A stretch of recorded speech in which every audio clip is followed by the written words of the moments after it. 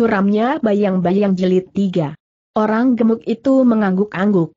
Kemudian dengan tubuh yang bagaikan remuk ia berjalan diikuti oleh rombongan pengamen menyusuri jalan padukuhan.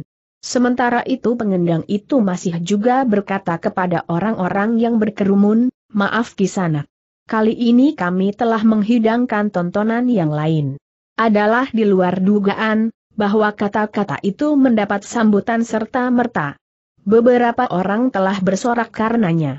Namun ketika orang yang bertubuh gemuk itu berhenti dan berpaling ke arah orang-orang yang bersorak itu, maka tiba-tiba pula suara tertawa itu pun terhenti. Orang-orang itu telah terdiam sambil menyembunyikan wajah mereka. Hi, kenapa kalian diam bertanya orang yang bertubuh kekurus-kurusan itu? Tidak ada jawaban. Orang kurus itu bertanya pula, agaknya kalian menjadi ketakutan jika orang yang gemuk ini tahu Siapa saja di antara kalian yang mentertawakannya. Tetapi jangan takut. Pada saat-saat lain aku tentu akan lewat di padukuhan ini. Jika aku mendengar bahwa orang gemuk ini bertindak sewenang-wenang atas kalian, maka aku tidak akan segan membunuhnya. Beberapa orang saling berpandangan. Tetapi tidak ada di antara mereka yang menjawab. Demikianlah sejenak kemudian maka orang-orang itu pun telah meninggalkan sudut padukuhan mereka. Orang yang bertubuh gemuk itu diikuti oleh sebuah iring-iringan kembali untuk mengambil uang yang dipertaruhkan dalam perkelahian itu. Sebagaimana dikatakan, Warsi sendiri menganggap peristiwa itu sebagai pengisi kejemuannya setelah ia berada di tanah perdikan Sembojan beberapa hari. Dengan demikian ia sudah berhasil mengurangi ketegangan yang terjadi di dalam jiwanya atas peristiwa yang dialaminya di tanah perdikan semujan itu. Dengan melihat orang lain kesakitan dan menderita, maka rasa-rasanya ia telah mendapat kawan, sehingga bukan hanya dirinya sendiri sajalah yang mengalami kepahitan perasaan.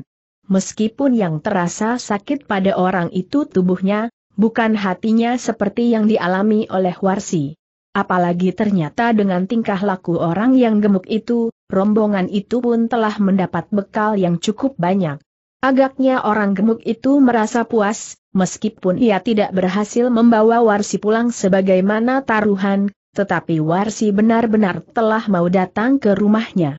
Bahkan malam itu Warsi dan rombongannya telah bermalam di rumahnya pula atas kehendak rombongan itu sendiri.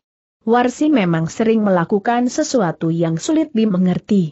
Menjelang senja, tiba-tiba saja ia berkata kepada pengendangnya, aku akan menari di halaman rumah orang gila ini. Untuk apa bertanya pengendang? Aku ingin menari. Itu saja, jawab Warsi. Pengendangnya menarik nafas dalam-dalam. Namun ia pun kemudian mempersilakan orang-orangnya untuk kebar sore itu, sementara Warsi pun telah berhias pula. Katakan kepada orang gemuk itu berkata Warsi kepada tukang gendang itu. Ketika hal itu dikatakan oleh tukang gendang itu kepada orang yang bertubuh gemuk itu, maka kegembiraan yang tidak terkira terbersit di wajah orang gemuk itu. Dengan serta-merta maka ia pun telah menyiapkan halaman rumahnya yang akan dipergunakan oleh Warsi untuk mempertontonkan tarian-tariannya. Sebenarnya lah bahwa ketika matahari telah tenggelam, Warsi dan para pengiringnya telah siap di halaman. Beberapa buah obor telah dipasang.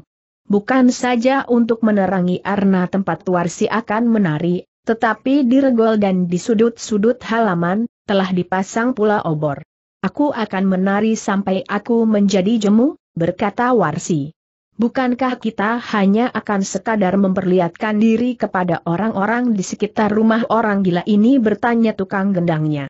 Aku akan menari sampai jemu. Mungkin hanya sebentar aku sudah menjadi jemu. Tetapi mungkin semalam suntuk, jawab Warsi.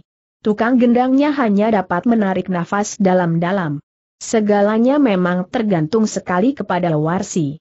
Apa pun yang akan dilakukan tidak seorang pun yang akan dapat mencegahnya meskipun para pengiringnya itu berhak juga untuk memberinya peringatan.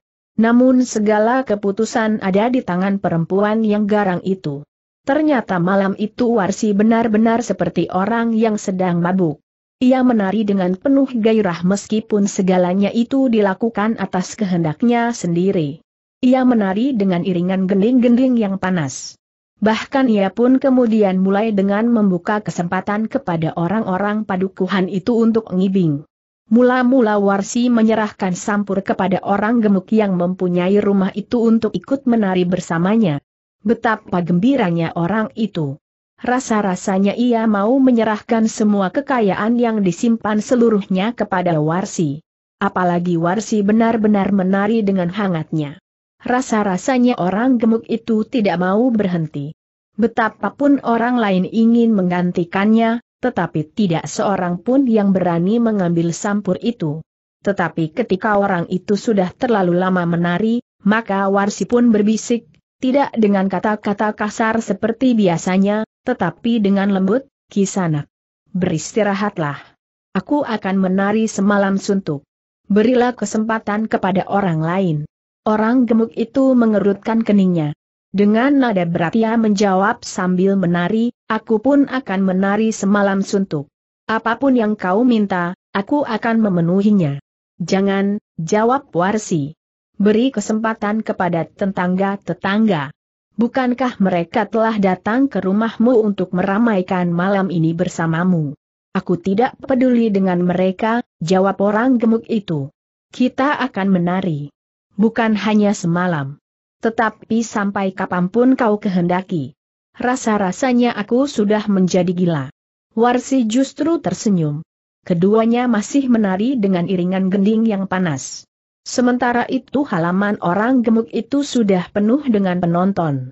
Beberapa orang laki-laki yang berdarah panas hampir tidak sabar menunggu kesempatan untuk menari bersama ledek yang sangat cantik itu. Tetapi tidak seorang pun yang berani menghentikan pemilik rumah yang di padukuhan itu sangat ditakuti. Dalam pada itu, Warsi sekali lagi berdesis, sudahlah.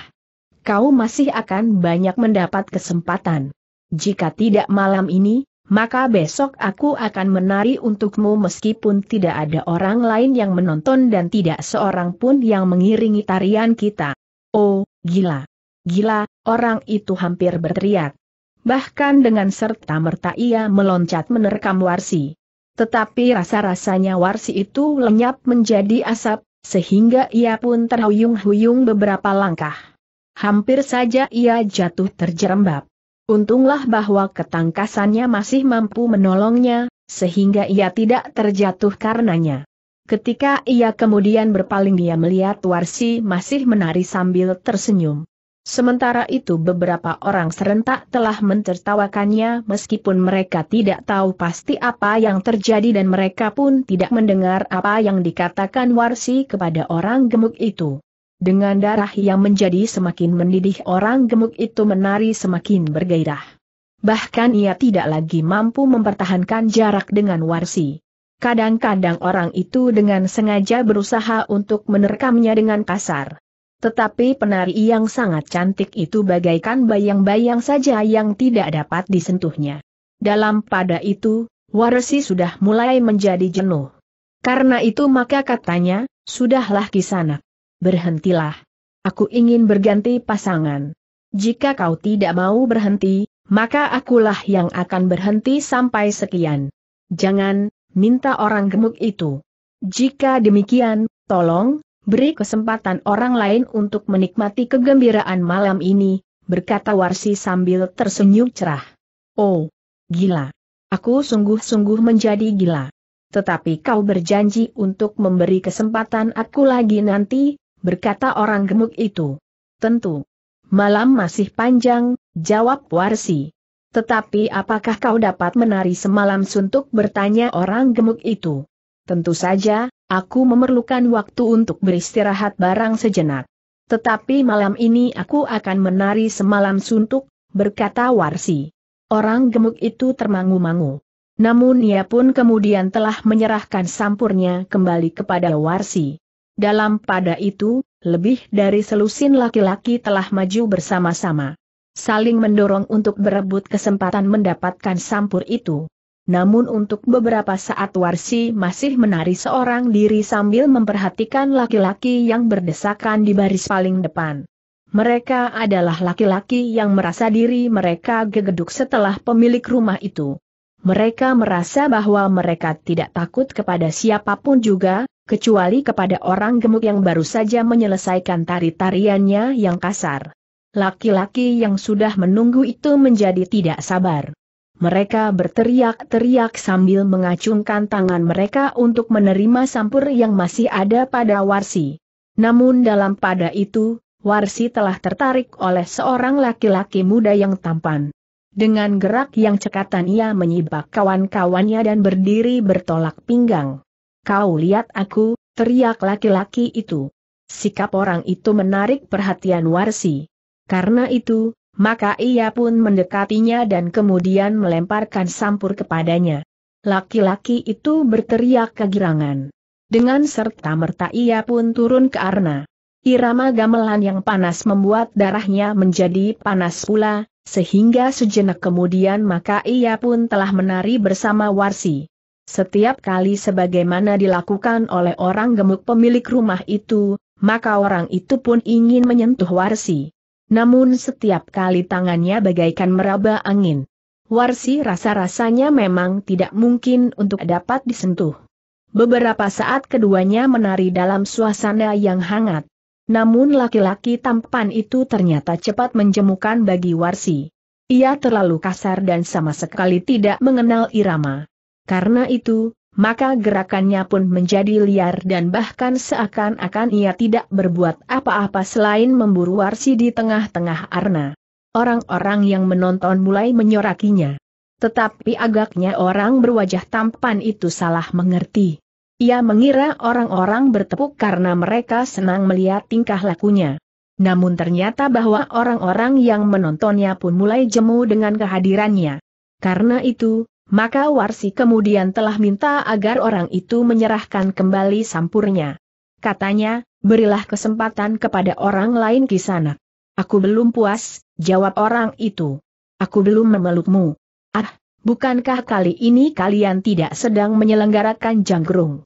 kalian sama sekali tidak mengeluarkan uang sekeping pun. Jika kali ini aku sedang kebar dan kemudian kita sepakat untuk menyelenggarakan janggrung, maka aku tidak berkeberatan. Tetapi kali ini aku menari untuk sekadar mengucapkan terima kasih kepada pemilik rumah ini yang telah memberi kesempatan kami bermalam di rumahnya, jawab Warsi. Tetapi beri aku kesempatan sejenak lagi, jawab laki-laki tampan itu. Warsi menjadi jemu. Katanya, sudahlah, agar pemilik rumah itu tidak menjadi marah kepadamu. Apakah kau berani melawannya? Ancaman itu telah membuat leher orang tampan itu berkerut. Karena itu, maka ia pun segera menyerahkan sampurnya kembali kepada Warsi. Demikian sampur itu kembali ke tangan Warsi, maka beberapa orang laki-laki yang lain telah berdesakan lagi. Sekali lagi Warsi memilih dan sekali lagi ia menyerahkan sampur kepada seorang laki-laki. Tetapi ketika mereka mulai menari maka laki-laki itu pun terasa tidak menarik sama sekali. Demikianlah terjadi beberapa kali, sehingga akhirnya Warsi benar-benar menjadi jemu, sementara malam masih cukup panjang. Baru saja terdengar suara kentongan di tengah malam. Warsi pun kemudian memberi isyarat kepada para pengiringnya untuk menghentikan pertunjukan itu. Namun demikian pertunjukan itu berhenti, Warsi pun dengan hormat berkata kepada para penontonnya, pertunjukan ini belum berakhir. Aku sudah berjanji untuk menari sepanjang malam. Dan aku akan memenuhi janjiku, menari sampai ayam jantan berkokok untuk terakhir kali, atau jika para penonton sudah menjadi jemu dan meninggalkan pertunjukan ini. Dalam pada itu, selagi Warsi beristirahat untuk sekadar minum minuman panas yang disediakan oleh pemilik rumah itu, maka beberapa penonton pun telah beristirahat pula. Mereka duduk di bawah pepohonan dan terpencar di seluruh halaman. Tidak seorang pun, terutama laki-laki yang meninggalkan halaman itu. Mereka yang belum memperoleh kesempatan dengan tidak sabar menunggu untuk dapat menari bersama seorang perempuan cantik. Sementara yang sudah pun berharap bahwa masih ada kemungkinan bagi mereka untuk menari sekali lagi. Sementara itu, beberapa orang dengan heran telah memuji kemampuan menari ledek yang cantik itu. Bukan saja keindahan gerak dan kecantikan tubuhnya, tetapi bahwa penari itu mampu bertahan untuk menari sampai tengah malam. Bahkan kemudian ia berjanji untuk dapat menari semalam suntuk. Aku hampir tidak percaya, berkata seseorang. Apalagi ia menari dalam irama yang panas dan dengan gerak yang mempesona. Sama sekali tidak nampak keletihan dan apalagi kehabisan tenaga. Ia masih mampu memanaskan suasana dengan geraknya dalam iringan yang serasi. Ledek yang satu ini memang aneh, jawab yang lain. Namun mereka tidak sempat membicarakannya lebih panjang lagi. Sejenak kemudian, Warsi telah kembali berada di Arna, sementara beberapa orang laki-laki telah kembali berdesakan. Namun yang diberi kesempatan pertama untuk menari bersamanya adalah orang gemuk pemilik rumah itu. Ternyata bahwa kesempatan kedua ini pun telah dipergunakan sebaik-baiknya, sehingga keringatnya bagaikan terperas dari tubuhnya. Tetapi kemudian Warsi pun menjadi sebagaimana terjadi sebelumnya. Ia mulai memilih laki-laki yang seperti menjadi gila menunggu gilirannya. Bahkan yang dilakukan Warsi kemudian benar-benar telah memancing persoalan. Warsi sengaja memberi sampur itu kepada seseorang tetapi kemudian diambilnya lagi dan diberikan kepada orang lain. Tetapi yang benar-benar telah membuat Arna itu menjadi gaduh, ketika dengan sengaja dan sadar, Warsi meletakkan sampur itu di atas dua belah tangan dari dua orang laki-laki yang sedang berdesakan. Kedua orang itu pun kemudian saling berebut sampur itu. Masing-masing tidak mau mengalah, sehingga akhirnya keduanya telah berkelahi dengan sengitnya. Warsi tersenyum melihat perkelahian itu. Beberapa orang justru menyibak, sementara kedua orang laki-laki itu telah mengerahkan kekuatan mereka masing-masing. Dalam pada itu, sampur yang mereka perebutkan itu justru telah jatuh di tanah. Tanpa menghiraukan perkelahian itu Warsi telah memungut sampur itu dan melambaikannya kepada laki-laki lain yang sedang kebingungan. Laki-laki itu tertegun melihat sikap Warsi. Tetapi kemudian justru tersenyum manis. Didekatinya laki-laki itu dan ditariknya ke tengah arna. Dalam kebingungan laki-laki itu tidak melawan. Bahkan kemudian Warsi mulai menggerak-gerakan tangan orang itu, maka orang itu pun mulai menari. Tetapi sementara itu, Warsi justru telah melemparkan sampurnya kepada laki-laki yang lain lagi, yang kemudian turun pula ke Arna. Minggir kau, teriak laki-laki yang membawa sampur. Tetapi Warsi masih saja menari berhadapan dengan laki-laki itu sambil tersenyum cerah. Wajahnya menjadi semakin cantik dan gerakannya pun menjadi semakin panas. Karena itu, laki-laki itu tidak mau pergi. Ketika laki-laki yang membawa sampur itu mendesaknya, maka tiba-tiba laki-laki itu marah. Tanpa bertanya satu patah kata pun, laki-laki yang mendesak itu pun telah pula ditinjunya. Keduanya pun kemudian telah berkelahi pula. Keduanya tidak mau mengalah dan tidak mau menepi. Karena itu pun kemudian menjadi kacau. Dua lingkar perkelahian telah terjadi. Orang-orang yang berusaha memisah, justru telah terlibat pula. Mereka mulai berpihak kepada kawannya yang sedang berkelahi itu, sehingga perkelahian itu pun menjadi semakin kisruh. Laki-laki gemuk pemilik rumah itu mulai menyadari, bahwa di halaman rumahnya telah terjadi perkelahian yang seru. Mereka telah berkelahi di mana pun di halaman itu, sehingga tanaman yang tumbuh di halaman dan di kebun, telah menjadi rusak karenanya. Laki-laki gemuk itu menjadi marah. Dengan tangkasnya ia meloncat ke atas tangga sambil berteriak, berhenti, semuanya berhenti. Tetapi laki-laki gemuk itu tidak sempat berteriak lagi. Ia sama sekali tidak dapat melawan, ketika tangannya telah ditarik oleh Warsi sambil tersenyum manis. Bahkan kemudian sambil mengelus pundaknya Warsi berkata, biarlah terjadi, apa yang sudah terjadi biarlah mereka mendapat hukuman mereka, karena mereka tidak dapat menahan diri. Orang gemuk itu mengerutkan keningnya. Tetapi ketika dipandanginya wajah Warsi yang cantik dan senyumnya yang cerah, maka ia pun tidak dapat berbuat apa-apa. Seperti kanak-kanak orang itu dibimbing oleh Warsi ke tangga pendapa dan kemudian mengajaknya untuk duduk bersama. Sementara itu, Para pengiring yang masih saja memukul gamelan menjadi bingung. Tidak ada lagi yang menari di halaman yang ada justru orang-orang yang sedang berkelahi.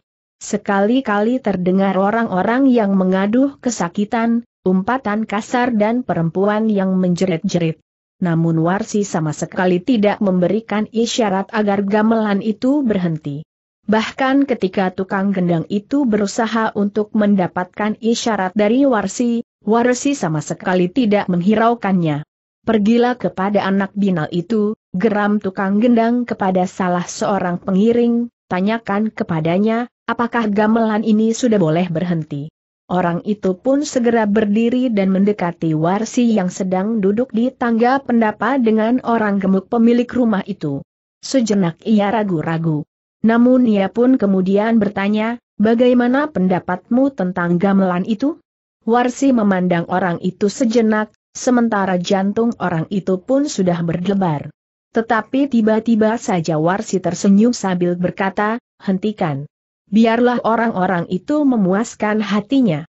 Setelah wajah mereka menjadi merah biru, maka mereka tentu akan berhenti dengan sendirinya. Orang itu menarik nafas dalam-dalam. Kemudian ia pun dengan tergesa-gesa kembali dan memberitahukan hal itu kepada tukang gendang. Karena itulah, maka sejenak kemudian suara gamelan itu pun telah berhenti. Sementara itu hiruk pikuk perkelahian di halaman itu pun sudah menjadi susut pula. Mereka yang sudah menjadi babak belur terhuyung-huyung meninggalkan halaman itu. Sementara yang lain pun mulai bertanya kepada diri sendiri, apa sebenarnya yang telah terjadi? Sementara itu, mereka melihat ledek itu duduk di tangga pendapa dengan pemilik rumah yang gemuk itu. Orang yang memang ditakuti oleh seisi padukuhan. Kita telah dipermainkan oleh perempuan binal itu, tiba-tiba seseorang mengeluh. Ya, dan kita bagaikan telah terbius untuk saling berkelahi, jawab yang lain. Beberapa orang yang mulai menyadari keadaan pun berusaha untuk melerai kawan-kawannya yang masih berkelahi. Bahkan beberapa orang di antara mereka pun menjadi marah kepada Warsi yang masih saja duduk sambil tersenyum-senyum. Kita harus memberinya peringatan, bahwa tingkah lakunya telah membuat kita marah, berkata salah seorang di antara laki-laki yang hidungnya berdarah. Apa yang akan kita lakukan bertanya kawannya. Kita seret ledek itu ke tengah-tengah halaman. Kita buat perempuan itu malu sebagaimana kita telah dibuat olehnya. Apakah kita akan memukulinya bertanya yang lain? Tidak. Kita seret perempuan itu dan kita bedaki wajahnya yang cantik itu dengan lumpur, jawab yang hidungnya berdarah. Siapa yang akan melakukannya bertanya orang yang matanya menjadi biru. Ternyata pertanyaan itu telah membingungkan tidak ada orang yang dapat menjawabnya. Bahkan orang yang matanya menjadi biru itu berkata, perempuan itu tentu akan mendapat perlindungan dari kerbau dungu yang tergila-gila kepadanya itu. Sementara itu, kita telah melihatnya, bahwa tukang gendang teledek itu memiliki kemampuan melampaui kerbau itu. Orang-orang yang mendengar kata-kata orang yang matanya biru dan mulai membengkak itu terdiam. Mereka sependapat dengan orang itu, bahwa tidak ada seorang pun yang akan dapat menghukum perempuan yang telah menimbulkan kegaduhan di padukuhan itu. Dalam pada itu, Warsi mulai memperlihatkan orang-orang yang satu demi satu meninggalkan halaman itu. Mereka berjalan tertatih-tatih sambil menyeringai menahan sakit. Bahkan ada di antara mereka yang terpaksa dipapah oleh kawannya, karena kakinya rasa-rasanya telah patah dalam perkelahian yang ribut di halaman itu. Sejenak Warsi termangu-mangu. Namun kemudian tiba-tiba saja ia bangkit. Pemilik rumah itu terkejut. Dicobanya untuk menahan tangan Warsi. Tetapi tangan orang gemuk itu telah dikibaskannya, sehingga pegangannya pun telah terlepas. Tidak seorang pun yang tahu apa sebabnya, ketika tiba-tiba saja Warsi telah berlari ke bilik yang sudah disediakan baginya. Pemilik rumah itu kemudian bangkit sambil memandanginya dengan wajah yang tegang. Sekali-kali ia memandang tukang gendang yang kemudian telah bangkit pula. Jantung orang gemuk itu menjadi semakin cepat berdetak ketika ia melihat tukang gendang yang dikiranya adalah suami teledek itu melangkah satu-satu. Dengan sorot mata yang tajam tukang gendang itu mendekatinya. Aku tidak berbuat apa-apa. Aku hanya duduk saja. Istrimulah yang membimbingku dan membawaku duduk di sini, berkata orang itu gagap sebelum tukang gendang itu bertanya sepatah kata pun. Tukang gendang itu berdiri tegak dengan kaki renggang. Sementara orang yang gemuk itu menjadi semakin ketakutan. Kemudian dengan nada berat tukang gendang itu bertanya, kau tentu menyentuhnya. Justru di saat ia tidak menghendaki. Tidak. Sungguh mati aku tidak menyentuhnya. Malahan istrimu yang menyentuhku, jawab laki-laki gemuk yang ketakutan itu. Tukang gendang itu tidak bertanya lagi. Tiba-tiba saja ia pun meninggalkan pemilik rumah itu dan menyusul Warsi ke dalam biliknya. Tukang gendang itu tertegun ketika ia melangkah memasuki pintu. Dilihatnya Warsi tidur menelungkup masih lengkap dengan pakaian penarinya, menangis terseduh-seduh. Warsi, desis tukang gendang yang kemudian duduk di sebelahnya, apa yang sebenarnya terjadi atas dirimu? Warsi tidak segera menjawab. Namun ia pun kemudian bangkit dan duduk di sisi tukang gendang itu. Dengan sampurnya ia mengusap air matanya yang masih saja mengalir, menghanyutkan bedaknya yang masih tersisa. Tingkah lakumu memang sulit dimengerti Warsi. Aku tahu akan hal itu. Tetapi kali ini kau benar-benar membuat aku kehilangan akal. Aku bukan saja tidak mengerti, tetapi kau telah membingungkan aku dan kawan-kawan kita yang pergi bersama kita, desis tukang gendang itu. Aku memang sudah menjadi gila, jawab Warsi di sela-sela isaknya yang belum mereda, kegagalanku untuk membunuh anak sembojan itu benar-benar membuat hatiku bagaikan diguncang oleh ketidakpastian.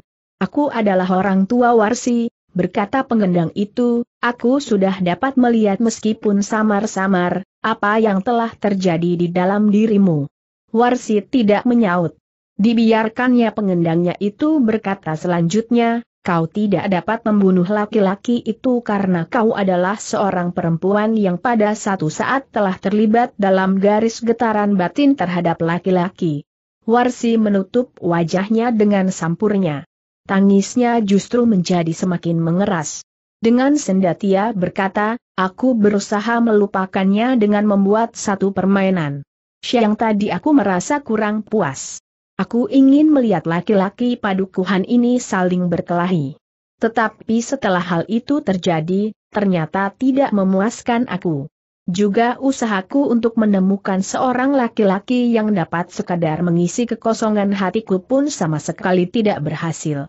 Suara Warsi hilang di telan isaknya. Sementara itu, pengendangnya pun berkata, Sudahlah. Kita akan segera kembali. Kita akan melaporkan semua yang telah terjadi. Apakah ayah tidak akan marah kepadaku bertanya Warsi sambil menangis. Kau katakan saja apa yang sebenarnya terjadi di dalam hatimu. Bagaimanapun juga kau adalah seorang perempuan yang mempunyai penilaian yang sangat pribadi terhadap seorang laki-laki. Ternyata Wiradana, laki-laki sembojan itu telah memikat hatimu sehingga kau tidak sampai hati untuk membunuhnya, berkata tukang gendangnya. Aku dihadapkan pada satu kesulitan untuk memilih. Jika aku tetap pada sikapku sekarang dengan tidak membunuhnya apakah aku akan dapat mempertanggungjawabkan hal ini kepada ayah? Padahal kau pun tahu, ayah terlalu kecewa dan marah atas kematian paman Kalamerta, jawab Warsi. Tukang gendang itu menarik nafas dalam-dalam. Kemudian katanya, kau masih belum mencobanya. Aku tidak tahu apa yang akan dikatakan oleh ayahmu. Tetapi bagaimanapun juga, kau adalah anaknya. Menurut perhitunganku bagaimanapun juga ia mengasihi pamanmu, tetapi ia tentu lebih mengasihi anaknya sendiri. Soalnya bukan sekadar adik dan anak, jawab Warsi. Soalnya adalah harga diri dan kehormatan. Pengendangnya mengangguk-anggukan kepalanya. Katanya, kau telah dihantui oleh perasaanmu sendiri. Aku juga orang tua yang di rumah mempunyai anak meskipun berbeda dengan kedudukanmu. Aku juga seorang yang barangkali dapat disebut buas seperti serigala. Tetapi pada saat-saat hatiku bening aku bermimpi agar anak-anakku mendapatkan kebahagiaan di dalam hidupnya. Warsi berusaha untuk berhenti menangis, meskipun dengan demikian ia bagaikan dicekik oleh isaknya sendiri. Namun akhirnya ia pun menjadi tenang. Tidurlah, berkata pengendangnya. Besok kita akan meninggalkan tempat ini, langsung kembali. Tanpa singgah di sepanjang jalan kau tidak akan menari lagi agar jiwamu yang luka itu tidak bergejolak sehingga dapat menimbulkan persoalan-persoalan baru. Sikap Warsi ternyata agak berbeda. Biasanya ia tidak mau tunduk kepada siapa pun juga. Ia lebih senang menuruti keinginannya sendiri. Namun saat itu, ternyata bahwa ia dapat mengerti petunjuk pengendangnya yang di padukuhan itu diaku sebagai suaminya, tetapi di tanah perdikan Sembojan disebutnya sebagai ayahnya. Dalam pada itu, Warsi pun kemudian membaringkan dirinya masih lengkap dengan pakaiannya. Sejenak ia merenung, sementara itu, pengendangnya pun telah bangkit berdiri dan berkata, aku pun akan bersiap-siap.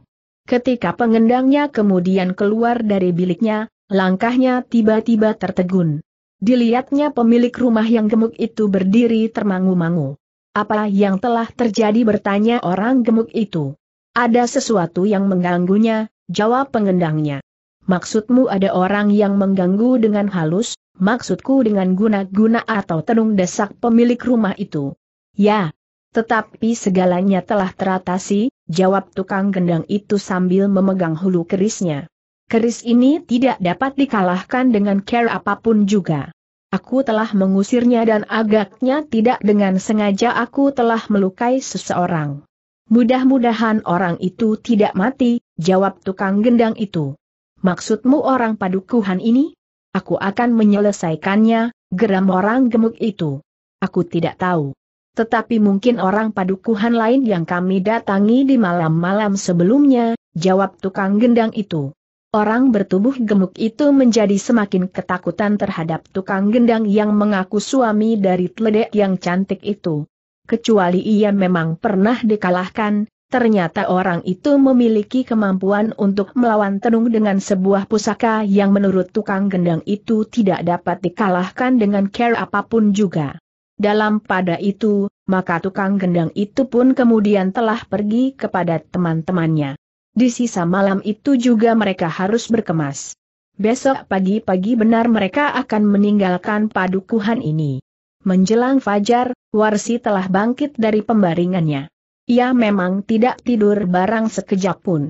Setelah melepas pakaian tarinya maka Warsi pun segera pergi ke Pakiwan. Namun sesuatu telah terjadi, sama sekali di luar dugaan Warsi sendiri.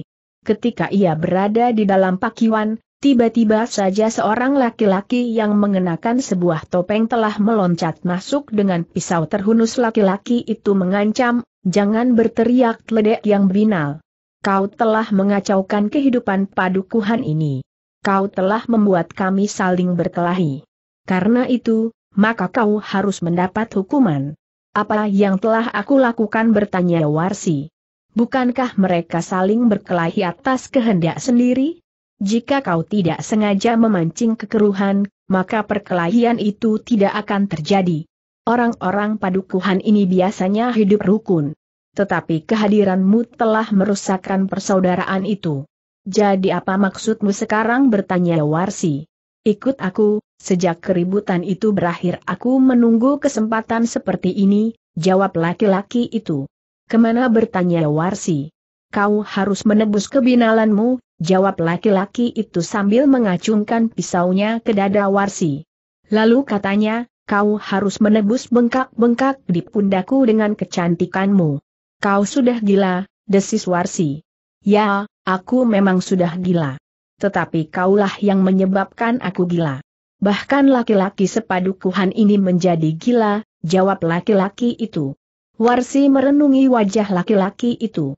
Fajar masih belum menyingsing, sehingga Dini masih disapu oleh keremangan sisa malam. Cepat ikut aku sebelum fajar, bentak orang itu.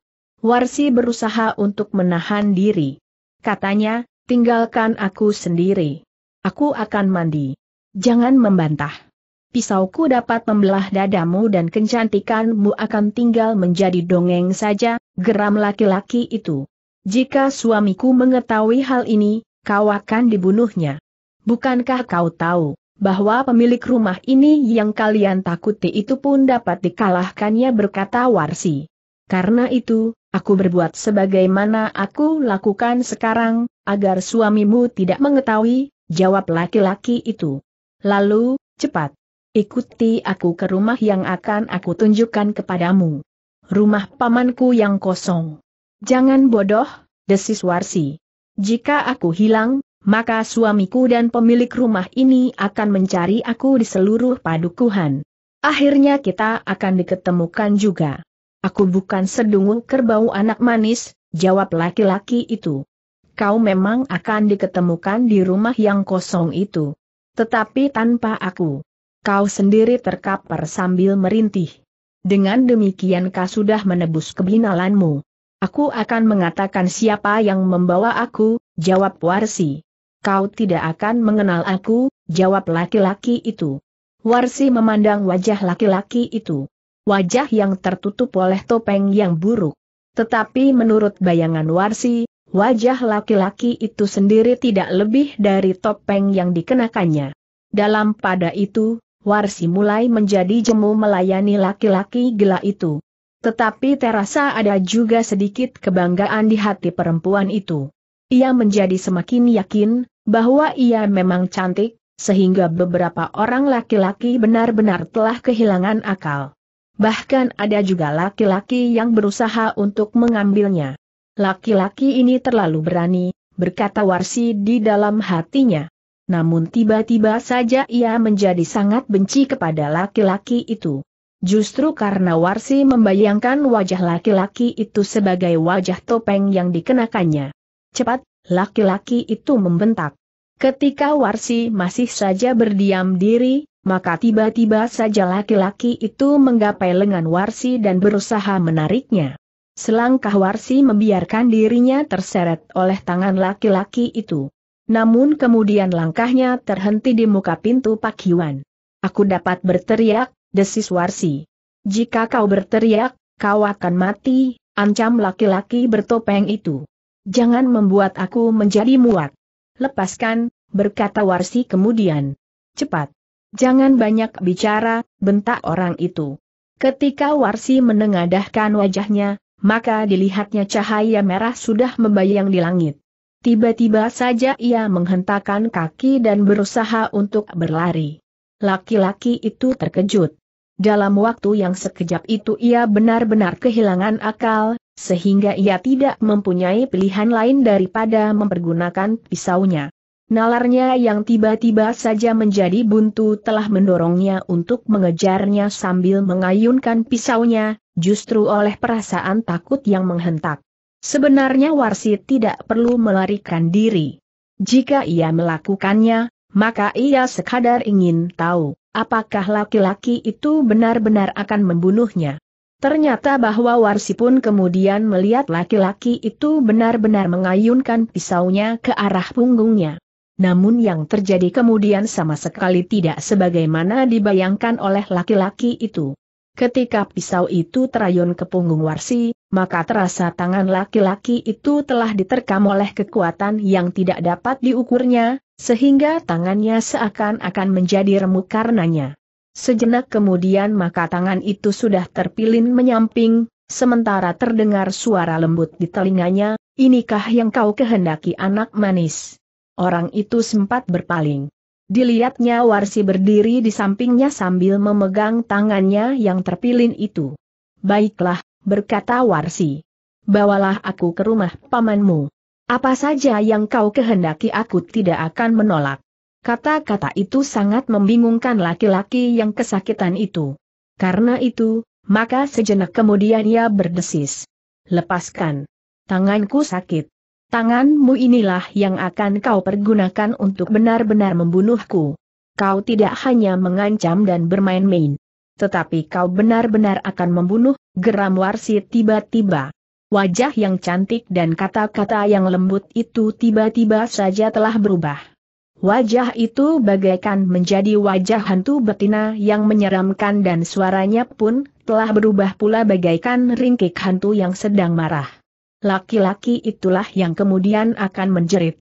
Tetapi tiba-tiba saja suaranya patah sebelum terloncat dari sela-sela bibirnya. Tangannya yang terpilin itu terasa benar-benar patah. Namun pisau yang digenggamnya itu ternyata telah terhunjam di lambungnya sendiri.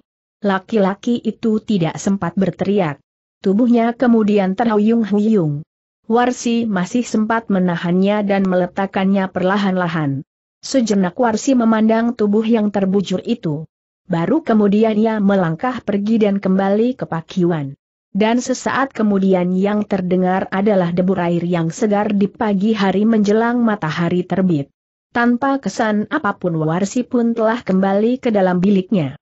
Pagi itu iring-iringan pengamen itu akan meninggalkan padukuhan yang telah sempat menjadi ribut. Beberapa orang laki-laki telah menjadi korban kegilaan mereka dan saling menghantam di antara mereka, sehingga beberapa orang telah menjadi luka-luka. Dalam pada itu, ternyata pemilik rumah itu pun masih sempat menyuruh para pelayannya bahkan istrinya untuk menyediakan minuman panas bagi rombongan teledek itu. Seperti yang dijanjikan maka ia telah menyediakan uang taruhan dan bahkan lebih dari itu. Demikian matahari naik di langit, maka pengendang dari rombongan pengamen itu pun telah minta diri. Mereka akan melanjutkan pengembaraan mereka sebagaimana selalu mereka lakukan. Sebenarnya kalian tidak usah mengembara, berkata orang gemuk itu, jika kalian mau tinggal di sini, maka segala kebutuhan kalian akan aku cukupi. Wajah pengendang itu menjadi tegang. Dengan nada yang tiba-tiba menjadi garang itu bertanya, dan istriku harus menjadi seliurmu. Oh, tidak. Tidak. Bukan maksudku begitu. Aku sudah puas dengan menari saja bersamanya, jawab orang gemuk itu. Sekarang kau berkata begitu. Tetapi jika aku benar-benar tinggal di sini, maka kau tentu akan mulai bertingkah dan kami yang merasa berhutang budi kepadamu, tidak akan dapat menentang lagi niat iblismu, geram pengendang itu. Tidak.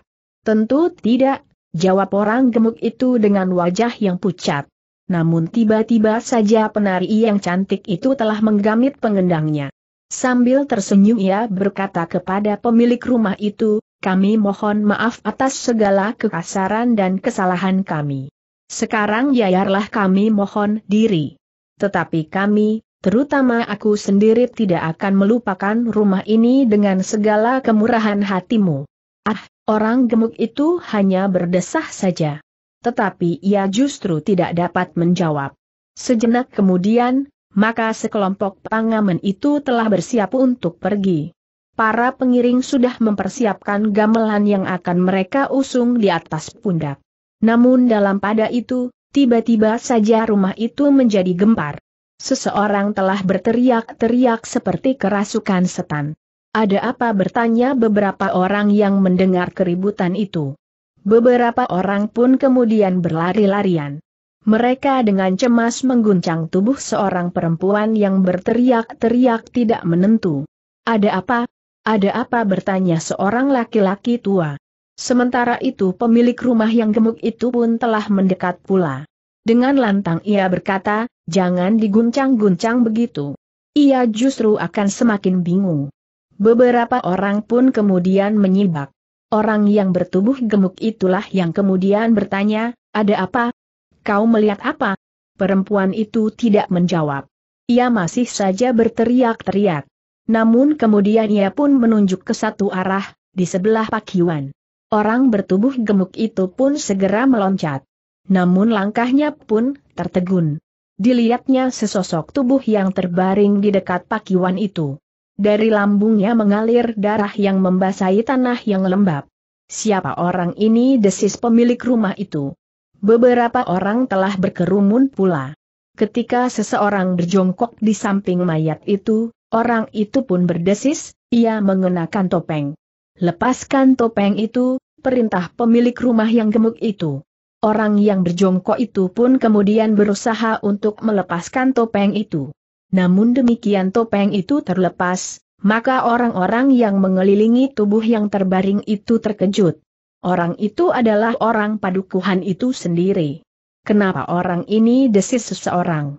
Mungkin ia terbunuh ketika terjadi perkelahian yang kisruh itu, sahut yang lain. Tetapi kenapa ia mempergunakan topeng, bertanya yang lain lagi. Ternyata teka-teki itu tidak terjawab. Berlari-lari seseorang telah memberitahukan kematian orang itu kepada keluarganya, sementara orang gemuk pemilik rumah itu pun telah menemui sekelompok orang-orang ngamen yang akan meninggalkan rumahnya. Satu peristiwa yang aneh, berkata orang yang gemuk itu. Apa yang terjadi bertanya Warsi. Orang gemuk itu pun kemudian menceritakan apa yang dilihatnya. Mungkinkah hal itu terjadi karena kehadiranku di sini bertanya Warsi dengan penuh penyesalan. Jika demikian maka kehadiranku di padukuhan ini, dan justru karena aku telah berusaha menghibur tetangga-tetangga semalam, akibatnya adalah sebuah kematian. Tidak, jawab orang gemuk itu dengan serta-merta karena ia menjadi cemas, bahwa penari itu tidak akan mau datang lagi kelak, tentu ada sebab lain. Jika perkelahian yang telah terjadi itu memang merenggut nyawanya, ia tentu tidak sempat mempergunakan topeng. Menurut dugaanku tentu ada persoalan lain meskipun sulit untuk ditebak. Dan tentu merupakan satu perkelahian yang sukar sekali untuk menemukan pembunuhnya. Warsi mengangguk-angguk. Tetapi ia pun kemudian bertanya, dengan demikian, apakah aku akan dapat melanjutkan perjalanan? Orang gemuk itu mengerutkan keningnya. Tiba-tiba saja timbul satu keinginan untuk mempergunakan kesempatan itu menahan kepergian sekelompok pengamen yang membawa perempuan yang cantik itu. Katanya, sebenarnya memang tidak ada keberatan apa pun. Tetapi sebaiknya kalian menunggu sampai persoalan ini menjadi jelas. Kami tentu akan melaporkan kepada Ki Demang. Sementara itu, kalian tetap tinggal di sini. Wajah pengendang itu tiba-tiba menjadi tegang. Katanya, jadi kau mencurigai kami, atau salah seorang di antara kami? Tidak. Bukan maksudku, jawab orang gemuk itu. Jadi apa maksudmu, bahwa kau berusaha menahan keberangkatan kami? Kalau kau mencurigai salah seorang dari kami, katakanlah berterus terang. Siapakah yang telah melakukan pembunuhan itu? dan kenapa orang itu justru bertopeng. Tetapi jika tidak, biarlah kami melanjutkan perjalanan, berkata pengendang itu sambil bangkit berdiri. Namun Warsi telah mengamitnya. Sambil tersenyum ia berkata, sebaiknya, beri kesempatan kami untuk berangkat, agar kesan kami terhadap padukuhan ini tetap baik. Dengan demikian, akan ada keinginan kami untuk kembali ke padukuhan ini pada saat lain. Orang gemuk itu mengerutkan keningnya. Sambil menarik nafas dalam-dalam ia pun berkata, baiklah, jika hal itu memang sudah menjadi keputusan kalian. Silakan. Kami memang tidak dapat menahanmu lebih lama lagi tinggal di padukuhan ini. Terima kasih, jawab Warsi sambil tersenyum. Katanya kemudian, kami akan langsung kembali ke rumah kami. Kami tidak akan ngamen lagi di sepanjang jalan pulang, karena kami telah mendapat bekal yang terlalu banyak bagi anak-anak kami di rumah. Itu tidak seberapa, berkata orang gemuk itu, jika lain kali kalian datang, maka aku akan memberi kalian lebih banyak lagi.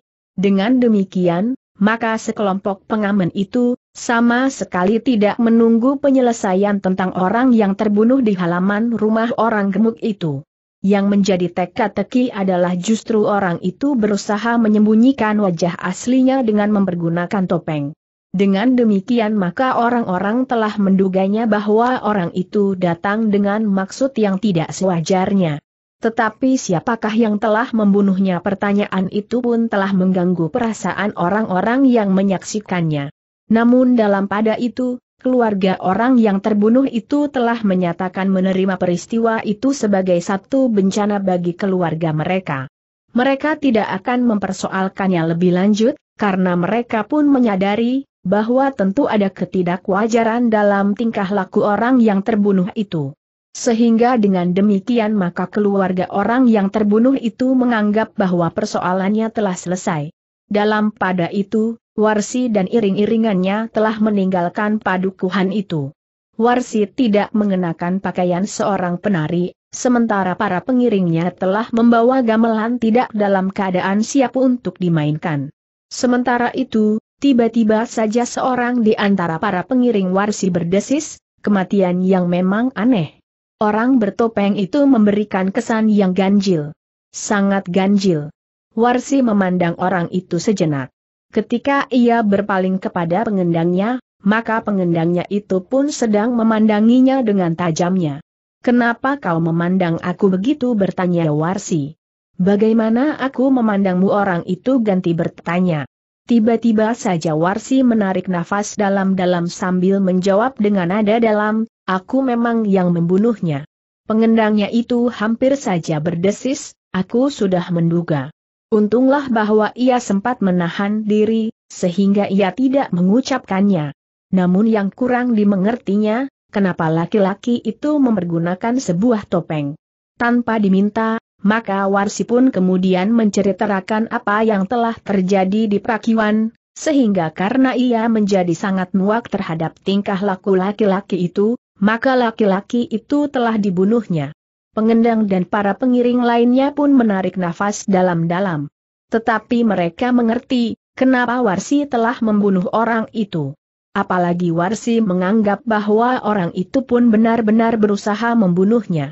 Tidak seorang pun di antara para pengiringnya yang mempertanyakannya. Pengendangnya itu pun tidak. Sementara Warsi sendirilah yang kemudian berkata, aku tidak dapat menyakitinya tanpa membunuhnya. Jika ia tidak mati, ia akan bercerita tentang aku. Para pengiringnya masih berdiam diri. Mereka tidak tahu, tanggapan apakah yang sebaiknya diberikan tentang hal itu. Namun agaknya Warsi pun tidak menghiraukan tanggapan para pengiringnya. Ia tidak menanyakannya dan kemudian persoalan itu pun seolah-olah telah dilupakannya. Namun yang menjadi persoalan kemudian adalah kemungkinan ada orang yang dapat mengenal mereka. Karena itu, maka untuk perjalanan berikutnya, mereka telah memilih malam hari. Dengan demikian, sebagaimana saat mereka berangkat, tidak seorang pun yang akan dapat mengenali mereka. Terutama orang-orang yang telah mengenal mereka dalam kehidupan sehari-hari, sehingga dalam rombongan kecil itu, orang-orang yang telah mengenal mereka akan menjadi curiga. Demikianlah, maka setelah menempuh perjalanan yang menegangkan, maka akhirnya Warsi telah berjalan mendekat di rumahnya. Di tengah malam iring-iringan kecil itu menuju ke sebuah padukuhan yang cukup besar. Semakin dekat mereka dengan padukuhan itu, maka jantung Warsi terasa berdentangan semakin cepat. Ia harus mempertanggungjawabkan semua yang telah dilakukannya kepada ayahnya. Ia harus melaporkan kegagalannya untuk membunuh Wiradana apalagi Ki Gede Sembojan. Sehingga dengan demikian, maka dendam atas kematian Kalamerta masih belum dapat ditebusnya. Hampir di luar sadarnya, ketika iring-iringan itu mendekati padukuhannya, maka tiba-tiba saja Warsi berhenti. Sejenak ia berpaling kepada para pengiringnya. Bahkan kemudian ia pun telah melangkah menepi duduk di atas sebuah batu padas di pinggir jalan. Warsi, desis pengendangnya, marilah. Kita tinggal selangkah lagi. Warsi termangu-mangu. Bahkan rasa-rasanya nafasnya menjadi semakin sesak. Rasa-rasanya ingin ia berteriak keras-keras untuk melepaskan himpitan pada perasaannya. Namun untunglah bahwa nalarnya masih dapat mengekangnya. Warsi, pengendangnya itu pun kemudian duduk di sebelahnya. Meskipun ia termasuk salah seorang yang buas dan garang dalam lingkungannya, tetapi pada saat ia merasa dirinya sebagai seorang yang telah berusia tua menghadapi seseorang gadis yang sedang bergejolak jiwanya. Katanya kemudian, marilah. Segala sesuatunya dapat kita bicarakan di rumah. Kau tidak akan dapat merenungi segalanya itu untuk mendapatkan satu penyelesaian. Kau harus menghadap ayahmu dan mengatakan semuanya dengan utuh. Warsi mengusap matanya yang mulai basah. Namun kemudian ia pun menengadahkan wajahnya sambil berdesis, marilah. Kita akan melanjutkan perjalanan. Warsi berusaha untuk berjalan dengan menengadahkan kepalanya. Ia ingin tetap merupakan seorang gadis yang garang di hadapan ayahnya. Namun demikian, Warsi tidak dapat ingkar kepada dirinya sendiri. Ketika ia memasuki regol halaman rumahnya, jantungnya terasa berdentang semakin cepat. Meskipun rumah itu bukan rumah seorang demang, atau seorang bebahu padukuhan yang penting, apalagi rumah seorang kepala perdikan, namun setiap saat rumah itu selalu dijaga oleh dua orang pengikut ayahnya yang setia, sebagaimana para pengiring yang menyertainya ngamen ke tanah perdikan Sembojan. Ketika dua orang penjaga itu melihat sekelompok orang memasuki halaman, mereka pun segera bersiaga. Tetapi demikian cahaya obor menggapai wajah Warsi, maka kedua orang itu pun menarik nafas dalam-dalam. Sambil menyongsong kedatangan iring-iringan kecil itu, maka salah seorang di antara mereka bertanya, kapan kalian datang, hi? Warsi yang berada di paling depan tidak menyaut. Ia langsung menuju ke tangga pendapa dengan diikuti oleh para pengiringnya. Penjaga yang bertanya itu merasa tersinggung. Sambil berjalan di sisi Warsi ia mengulangi pertanyaannya, kapan kalian datang? Warsi berpaling ke arahnya. Dipandanginya penjaga itu dengan tajamnya. Dengan nada datar ia bergumam, kau lihat, bahwa kami baru saja datang? Jika kau bertanya sekali lagi, aku patahkan semua gigimu. Penjaga itu mengerutkan keningnya. Namun ia benar-benar tidak berani bertanya lagi. Ia sudah mengenal watak dan sifat Warsi. Karena itu, ia pun bahkan bergeser menjauh. Ketika Warsi kemudian naik ke pendapa, maka kedua penjaga itu justru tetap tinggal di halaman. Ketuk pintu, desis Warsi. Pengendangnya kemudian melangkah ke pintu dan mengetuknya perlahan-lahan. Sejenak kemudian, maka pintu pun terbuka. Seorang laki-laki berambut putih berdiri di pintu. Demikian ia melihat Warsi, maka orang itu pun tersenyum. Ditepuknya pundak anak perempuannya sambil berdesis, marilah Warsi. Aku tahu bahwa kau akan kembali dengan selamat dengan membawa hasil yang gemilang. Warsi menundukkan kepalanya. Tetapi ayahnya kemudian membimbingnya masuk ke ruang dalam. Katanya kepada para pengiring, marilah. Masuklah. Biarlah gamelan itu kalian tinggalkan saja di pendapa. Para pengiring warsi itu pun kemudian mengikuti masuk ke ruang dalam. Mereka pun kemudian duduk di sehelai tikar pandan yang terbentang di tengah-tengah ruang dalam itu. Ternyata suasana di ruang itu terasa tegang. Wajah-wajah pun menjadi suram dan jantung pun terasa berdegupan. Sekali-kali para pengiring itu berusaha untuk dapat menatap wajah Warsi. Tetapi Warsi yang mereka kenal sebagai seorang gadis yang garang itu, nampak menunduk dengan wajah yang muram. Orang tua berambut putih itu ternyata mampu menangkap suasana yang dihadapinya. Ia melihat wajah-wajah yang muram dan suasana yang mencengkam sekelompok orang yang baru saja datang dari sembojan itu. Karena itu, maka ia tidak sabar lagi. Dengan serta-merta maka ia pun kemudian bertanya, Warsi, apakah kau berhasil membalas dendam pamanmu? Apakah anak kepala tanah perdikan semujan itu sudah kau bunuh, atau justru kepala tanah perdikan itu sendiri? Jantung Warsi terasa bagaikan runtuh dari tangkainya. Pertanyaan itu memang sudah ditunggunya. Namun ia masih juga merasakan ketegangan yang luar biasa mencengkam dadanya. Warsi, berkata ayahnya pula. Sikapmu dan para pengiringmu membuat aku berdebar-debar. Sebenarnya aku ingin mempersilakan kalian beristirahat. Minum minuman panas dan barangkali mandi dan membersihkan diri setelah menempuh perjalanan. Tetapi aku tidak dapat menunggu justru karena sikap kalian semuanya. Warsi menahan gekolak di dalam dadanya. Namun akhirnya ia sadar, bahwa ia harus mengatakannya. Kapan pun. Jika tidak esok pagi, mungkin esok siang. Namun baginya lebih baik segala sesuatunya segera diketahui oleh ayahnya. Ayah, berkata Warsi kemudian, aku sudah berusaha untuk melakukan perintah ayah sebaik-baiknya. Tetapi ternyata aku telah gagal. Aku baka dari ungkapan wajahmu, berkata ayahnya. Kenapa kau gagal? Apakah kau tidak mendapat kesempatan untuk membunuhnya ataukah sudah mencobanya? Tetapi anak itu memiliki kemampuan melampaui kemampuanmu. Jantung Warsi bagaikan akan meledak. Tetapi ia sudah bertekad untuk segera mengatakannya. Apa pun yang terjadi. Karena itu, maka ia pun kemudian bergeser setapak sambil berdesis, aku akan mengatakan segalanya ayah. Sebelumnya aku mohon ayah memaafkan aku. Wajah ayahnya menjadi semakin berkerut. Namun ia pun memberi kesempatan kepada anaknya untuk mengatakan persoalan yang dibawanya dari Sembojan. Warsi pun kemudian menceritakan sejak awal hingga akhir perjalanan sampai ia memasuki kembali regol rumahnya dengan hati yang berdebar-debar. Wajah ayahnya menjadi merah, sementara telinganya bagaikan disentuh api. Dengan suara bergetar ia berkata, anak iblis. Jadi kau korbankan harga dirimu sebagai kemenakan kalamerta? Bukan maksudku ayah, jawab Warsi. Tetapi aku tidak dapat melakukannya. Ada sesuatu yang telah menahan diriku, justru di dalam. Kau sudah ditempa oleh satu keadaan yang aku kira akan dapat membuatmu menjadi masak lahir dan batin, berkata ayahnya dengan nada yang keras. Ternyata bahwa hatimu terlalu lemah untuk melakukan tugas-tugas yang berat. Aku mohon maaf ayah, jawab Warsi.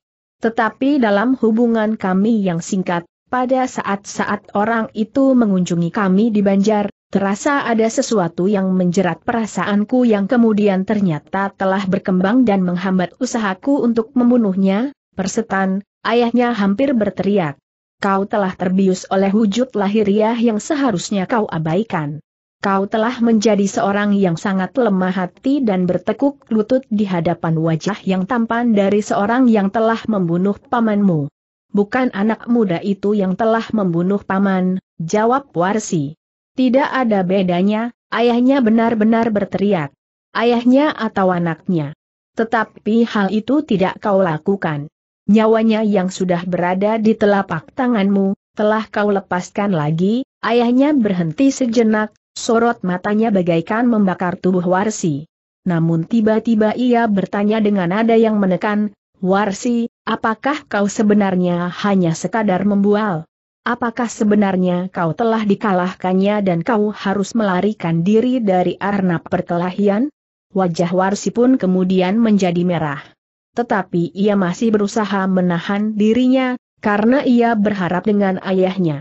Namun demikian ia menjawab, laki-laki itu sudah terluka di seluruh tubuhnya. Aku tinggal menjerat lehernya saja setelah senjatanya terlepas. Tetapi aku tidak dapat melakukannya ayah. Justru karena aku adalah seorang perempuan dan Wiradana adalah seorang laki-laki. Itulah yang gila, geram ayahnya. Bahkan dengan suara yang bergetar ayahnya pun kemudian berkata dengan suara lantang, Warsi. Sekarang kau harus kembali ke Sembojan. Kau harus berhasil membunuh laki-laki keparat itu bersama ayahnya. Kau tidak mempunyai pilihan lain dari perintahku ini. Jantung Warsi bagaikan bergetar oleh runtuhnya gunung kelut. Dipandanginya ayahnya dengan tajamnya. Dengan suara yang sendat ia menjawab, Ayah. Sudah aku katakan. Aku tidak dapat melakukannya. Ia terlalu tampan dan hatinya terlalu lembut untuk dibunuh karena kesalahan ayahnya. Aku tidak mau mendengar alasan apa pun lagi, kata ayahnya. Namun ternyata bahwa watak warsilah yang kemudian melonjak dalam pembicaraan yang panas itu. Katanya, baik. Jika ayah tidak mau mendengar alasan-alasan, aku tidak akan menyebut satu alasan pun. Jika demikian lakukan perintah ini. Sekarang kau harus kembali ke Sembojan. Tidak, jawab Warsi tegas. Aku tidak akan ke Sembojan dan aku tidak akan membunuh Wiradana. Gila, bentak ayahnya. Warsi. Apakah kau sudah gila? Warsi tidak menjawab. Tetapi wajahnya masih saja nampak kemerah-merahan. Warsi, suara ayahnya semakin keras. Kau harus pergi. Kau harus membela kehormatan keluarga kita. Kematian pamanmu merupakan salah satu penghinaan yang tidak dapat dimaafkan. Kau harus berhasil menebus penghinaan ini. Warsi sama sekali tidak menjawab, Sementara ayahnya berteriak semakin meninggi, Warsi. Apakah kau sudah menjadi tuli dan bisuhi? Warsi bergeser setapak. Namun ketika ayahnya kemudian bangkit berdiri, maka Warsi pun telah berdiri pula sambil berkata, aku tidak akan melakukannya. Itu saja. Ayah tidak mau mendengar alasanku. Dan aku tidak akan memberikan alasan. Kemarahan ayah Warsi telah sampai ke puncak. Selangkah ia maju. Tiba-tiba saja tangannya telah terayun menampar pipi anak gadisnya. Warsi sama sekali tidak mengelak. Tetapi tamparan pada pipinya itu sama sekali tidak dirasakannya. Ia masih saja berdiri tegak sambil memandangi ayahnya yang bagaikan kesurupan itu. Dalam pada itu, pengikut Warsi yang selama menjadi pengiringnya menjadi tukang gendang itu pun memberanikan diri untuk bergeser setapak sambil berkata, aku minta maaf, bahwa aku tidak berani mencampuri persoalan ini. Ayah Warsi yang berambut putih itu berpaling kepadanya. Namun tiba-tiba saja terdengar ia mengumpat, kau orang tua yang tidak tahu diri. Buat apa kau ikut bersamanya, jika kau sama sekali tidak dapat menentukan, apakah Warsi dapat melakukan tugasnya atau tidak. Warsi masih belum memberikan alasannya yang paling mendasar, berkata tukang gendang itu. Aku tahu. Ia tertarik kepada ketampanan wajah anak yang seharusnya dibunuhnya. Apalagi ia sudah kawin dan mempunyai ikatan paugeran yang kuat sebagai anak seorang kepala tanah perdikan. Apa yang dapat dilakukan Warsi atasnya? Merenunginya setiap malam dan kemudian menjadi gila berkata ayah Warsi. Bukan begitu, jawab pengendang itu. Sebenarnya adalah sangat wajar jika seorang perempuan pada suatu saat tertarik kepada seorang laki-laki. Oh, jadi kau menganggap hal itu wajar? Apakah agaknya kau justru yang telah mencegah Warsi membunuh laki-laki itu? Kau yang telah mencari keuntungan dari kehinaan ini, bentak ayah Warsi. Cobalah aku memberikan sedikit pendapatku tentang hal ini, berkata orang itu. Apa yang dapat kau katakan tentang anakku? Selama ini kau tidak mampu berbuat sesuatu bagi dirimu sendiri, jawab ayah Warsi. Agaknya memang demikian, desis orang itu. Namun kali ini aku ingin mencoba berbicara serba sedikit tentang Warsi mungkin yang aku katakan ini tidak ada gunanya sama sekali. Tetapi mungkin akan dapat memberikan sedikit kemungkinan untuk menyelesaikan persoalan. Ayah Warsi termangu-mangu sejenak. Namun kemudian katanya, katakan. Tetapi jika ternyata justru kau yang telah menyebabkan anakku berpikiran sesat, maka kaulah yang akan mengalami nasib yang paling buruk. Orang yang selama mengiringi Warsi ke Sembojan menjadi pengendang itu pun kemudian berkata, ada hal yang harus dipertimbangkan. Warsi adalah seorang gadis dan Wiradana adalah seorang laki-laki muda. Mereka bertemu dalam keadaan yang sangat khusus. Dan sebagai orang tua aku dapat mengatakan, bahwa keduanya menjadi saling tertarik. Bukankah itu wajar? Tidak. Sama sekali tidak wajar. Wiradana sudah kawin dan ia adalah orang yang harus dibunuh karena ia menjadi sasaran dendam keluarga Kalamerta, jawab Ayah Warsi. Tetapi bukankah pikiran kita mampu berkembang, berkata bekas pengendangnya itu. Membalas dendam bukanlah sekadar membunuh. Tetapi bukankah ada Caroline yang lebih baik dari membunuh? Bukankah sekaligus untuk satu tujuan yang jauh lebih besar dari sekadar kematian? Aku tidak tahu, apa yang kau katakan, geram ayah Warsi. Sudah sejak di perjalanan aku pikirkan. Aku sadar, bahwa akan terjadi hal seperti itu. Dan aku pun sadar, bahwa kekakuan watak Warsi akan membuatnya terdiam seperti patung. Tetapi bukan berarti bahwa ia akan melangkah surut, berkata orang itu. Cepat, katakan, bentak ayah Warsi yang menjadi tidak sabar. Baiklah, berkata pengendangnya. Sasaran sebenarnya dari balas dendam ini adalah Ki Gede Sembojan. Wiradana sebenarnya bukan apa-apa. Bahkan Warsi telah bertempur melawannya, dan Wiradana sama sekali tidak mampu menyelamatkan dirinya seandainya Warsi membunuhnya. Tetapi hal itu tidak dilakukannya, teriak ayah Warsi. Tunggu, jawab pengendang itu. Ada jalan yang ingin ditempuh oleh Warsi. Ada satu alasan yang dapat dikatakannya.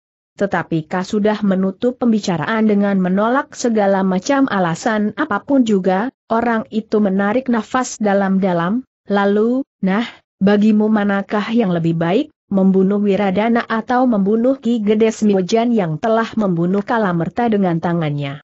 Kau mengigau, geram ayah Warsi, bagaimana mungkin dapat membunuh Ki Gede Sembojan? Warsi akan dapat melakukannya jika kau setuju dengan rencananya, jawab pengendang itu. Ayah Warsi itu pun menjadi termangu-mangu.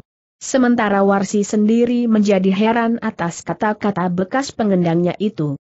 Mana mungkin ia dapat membunuh Ki Gede Sembojan.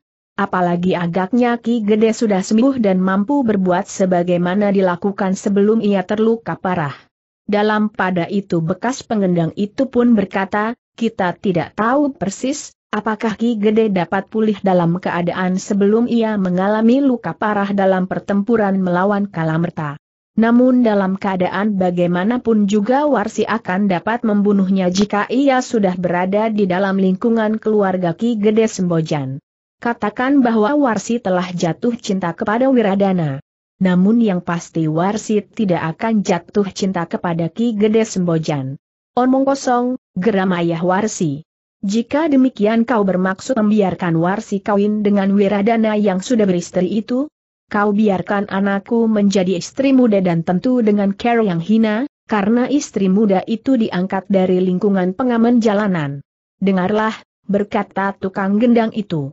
Aku yakin Wiradana pun telah jatuh cinta kepada Warsi. Apa salahnya jika keduanya kemudian kawin? Tentu saja Warsi akan dapat mengajukan syarat, bahwa istri tua itu harus disingkirkan. Ini adalah salah satu care pula untuk membalas dendam. Kematian akan ditebus dengan dua jiwa. Jiwa Ki Gede Sembojan dan jiwa istri Wiradana. Bukankah hal itu sudah memadai? Sementara itu, jika kelak Warsi mendapat keturunan, maka keturunannya akan menjadi kepala tanah perdikan Sembojan. Bukankah itu salah satu cara membalas dendam yang paling menarik, sekaligus mendapat keuntungan? Sebagaimana kami mengamen. Semula kami hanya ingin mempergunakan care ini untuk menyusup ke dalam lingkungan tanah perdikan Sembojan, namun ternyata dalam perjalanan itu, kami juga mendapat banyak rejeki. Tanda petik. Ayah Warsi mulai merenungi kata-kata bekas pengendang itu. Sementara Warsi sendiri pun mengangguk-angguk. Semula ia tidak berpikir sejauh itu. Ia memang ingin merenggut Wiradana dari tangan istrinya. Tetapi ia belum memikirkan caranya. Namun dalam pada itu pengendang itu telah mengatakannya, kematian Kalamerta dapat ditebus dengan dua jiwa. Istri Wiradana dan sekaligus ayahnya. Ada semacam perlawanan di dalam hati Warsi sebagai seorang perempuan sebagaimana istri Wiradana itu tetapi kemudian ia pun menggeretakkan giginya. Jalan itu adalah ah jalan yang sangat baik.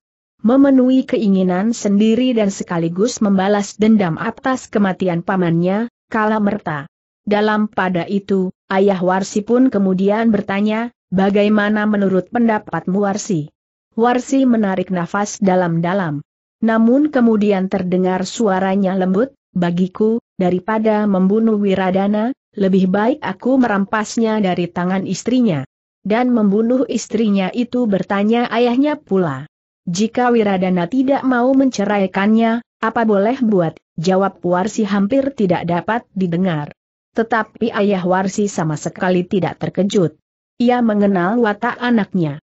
Dan ia pun sama sekali tidak berkeberatan jika hal yang demikian itu memang akan terjadi. Ternyata pendapat bekas pengendang warsi itu dapat memberikan pemecahan. Ia dapat mengatasi ketegangan yang terjadi antara warsi dan ayahnya. Karena keduanya menerima pendapat yang dikatakannya, meskipun dengan demikian pelaksanaan dendam itu akan tertunda untuk waktu yang tidak diketahui. Sejenak kemudian, ayah warsi itu pun menarik nafas dalam-dalam. Katanya, Penyelesaian yang diusulkan orang ini akan aku pikirkan baik-baik. Aku masih akan berbicara dengan beberapa pihak. Terutama Warsi sendiri. Karena seperti sudah kita ketahui, bahwa Warsi telah mendapat lamaran dari seseorang. Seorang yang kaya dan keturunan orang baik-baik. Baik-baik bagaimana maksud Tayah bertanya Warsi. Ia masih mempunyai hubungan kadang dengan kita. Dan orang itu hidup dalam suasana yang wajar, jawab ayahnya. Apakah kita tidak hidup dalam suasana yang wajar bertanya Warsi. Jika kita sekarang harus melakukan satu langkah yang tidak wajar, adalah karena pokal paman Kalamerta. Warsi, maksudku tata kehidupan dan nilai-nilai kehidupan yang kita anut memang berbeda dengan tata nilai dari orang itu, berkata ayahnya. Jika demikian, maka hidup kami kelak tentu tidak akan menemukan satu kebahagiaan, jawab Warsi. Aku mengerti. Tetapi maksudku semula, aku ingin mengajarimu hidup sebagaimana orang kebanyakan. Kau dapat menjadi seorang perempuan sebagaimana perempuan-perempuan lain, berkata ayahnya. Itu tidak mungkin, jawab Warsi. Ayah sudah membentuk aku menjadi begini. Aku tidak dapat berubah lagi. Laki-laki yang ayah katakan melamar aku itu tidak lebih dari seorang laki-laki cengeng yang tidak pantas kawin dengan seorang perempuan. Justru hati orang itu melampaui lemahnya hati seorang perempuan. Ya, aku mengerti. Tetapi ia benar-benar sudah melamar karena ia tidak tahu siapakah kau sebenarnya. Laki-laki itu memang pernah mengenalmu sebagaimana kau mengenalnya. Tetapi hanya wujud lahiriahnya saja, berkata ayahnya. Lupakan saja orang itu ayah, berkata Warsi. Jika aku terpaksa kawin dengan orang itu, maka pada suatu ketika aku akan mencekiknya, ayahnya menarik nafas dalam-dalam. Warsi mungkin hanya ingin mengungkapkan ketidakinginannya untuk memilih orang itu daripada Wiradana. Tetapi ungkapan itu akan benar-benar dapat dilakukan jika ia dipaksa untuk melakukan perkawinan itu. Karena itu ayahnya kemudian berkata, ternyata kemudian aku condong untuk mengizinkan kau kawin dengan Wiradana, tetapi dengan syarat bahwa kau tidak akan dimadu. Aku akan memberitahukan kepada laki-laki yang melamarmu itu, bahwa kau ternyata keberatan. Tetapi biarlah hal ini kita bicarakan lebih mendalam. Sekarang, beristirahatlah. Kalian tentu merasa lelah. Aku kelelahan lahir dan batin, desis warsi perlahan-lahan hampir ditujukan kepada diri sendiri. Demikianlah, maka warsi dan para pengiringnya pun kemudian membersihkan dirinya di pakiwan. Sementara seseorang sempat menyediakan minuman panas bagi mereka. Baru kemudian mereka pergi ke bilik mereka masing-masing. Warsi ke biliknya sendiri, sedang yang lain pergi ke gandok. Di hari-hari berikutnya, maka dengan sungguh-sungguh Hayah Warsi telah membicarakan tentang hari depan anaknya. Rencana Warsi untuk kembali ke tanah perdikan Sembojan dan merebut Wiradana dari sisi istrinya telah disetujuinya. Dengan demikian, apabila Warsi berhasil, maka ia akan mendapat banyak kesempatan untuk membalas dendam kematian Kalamerta, sekaligus berharap bahwa keturunannya kelak akan menjadi kepala tanah perdikan Sembojan. Kepala tanah perdikan adalah kedudukan yang jauh lebih baik daripada sekadar istri seorang yang kaya dan keturunan baik-baik, berkata ayah Warsi itu di dalam hatinya.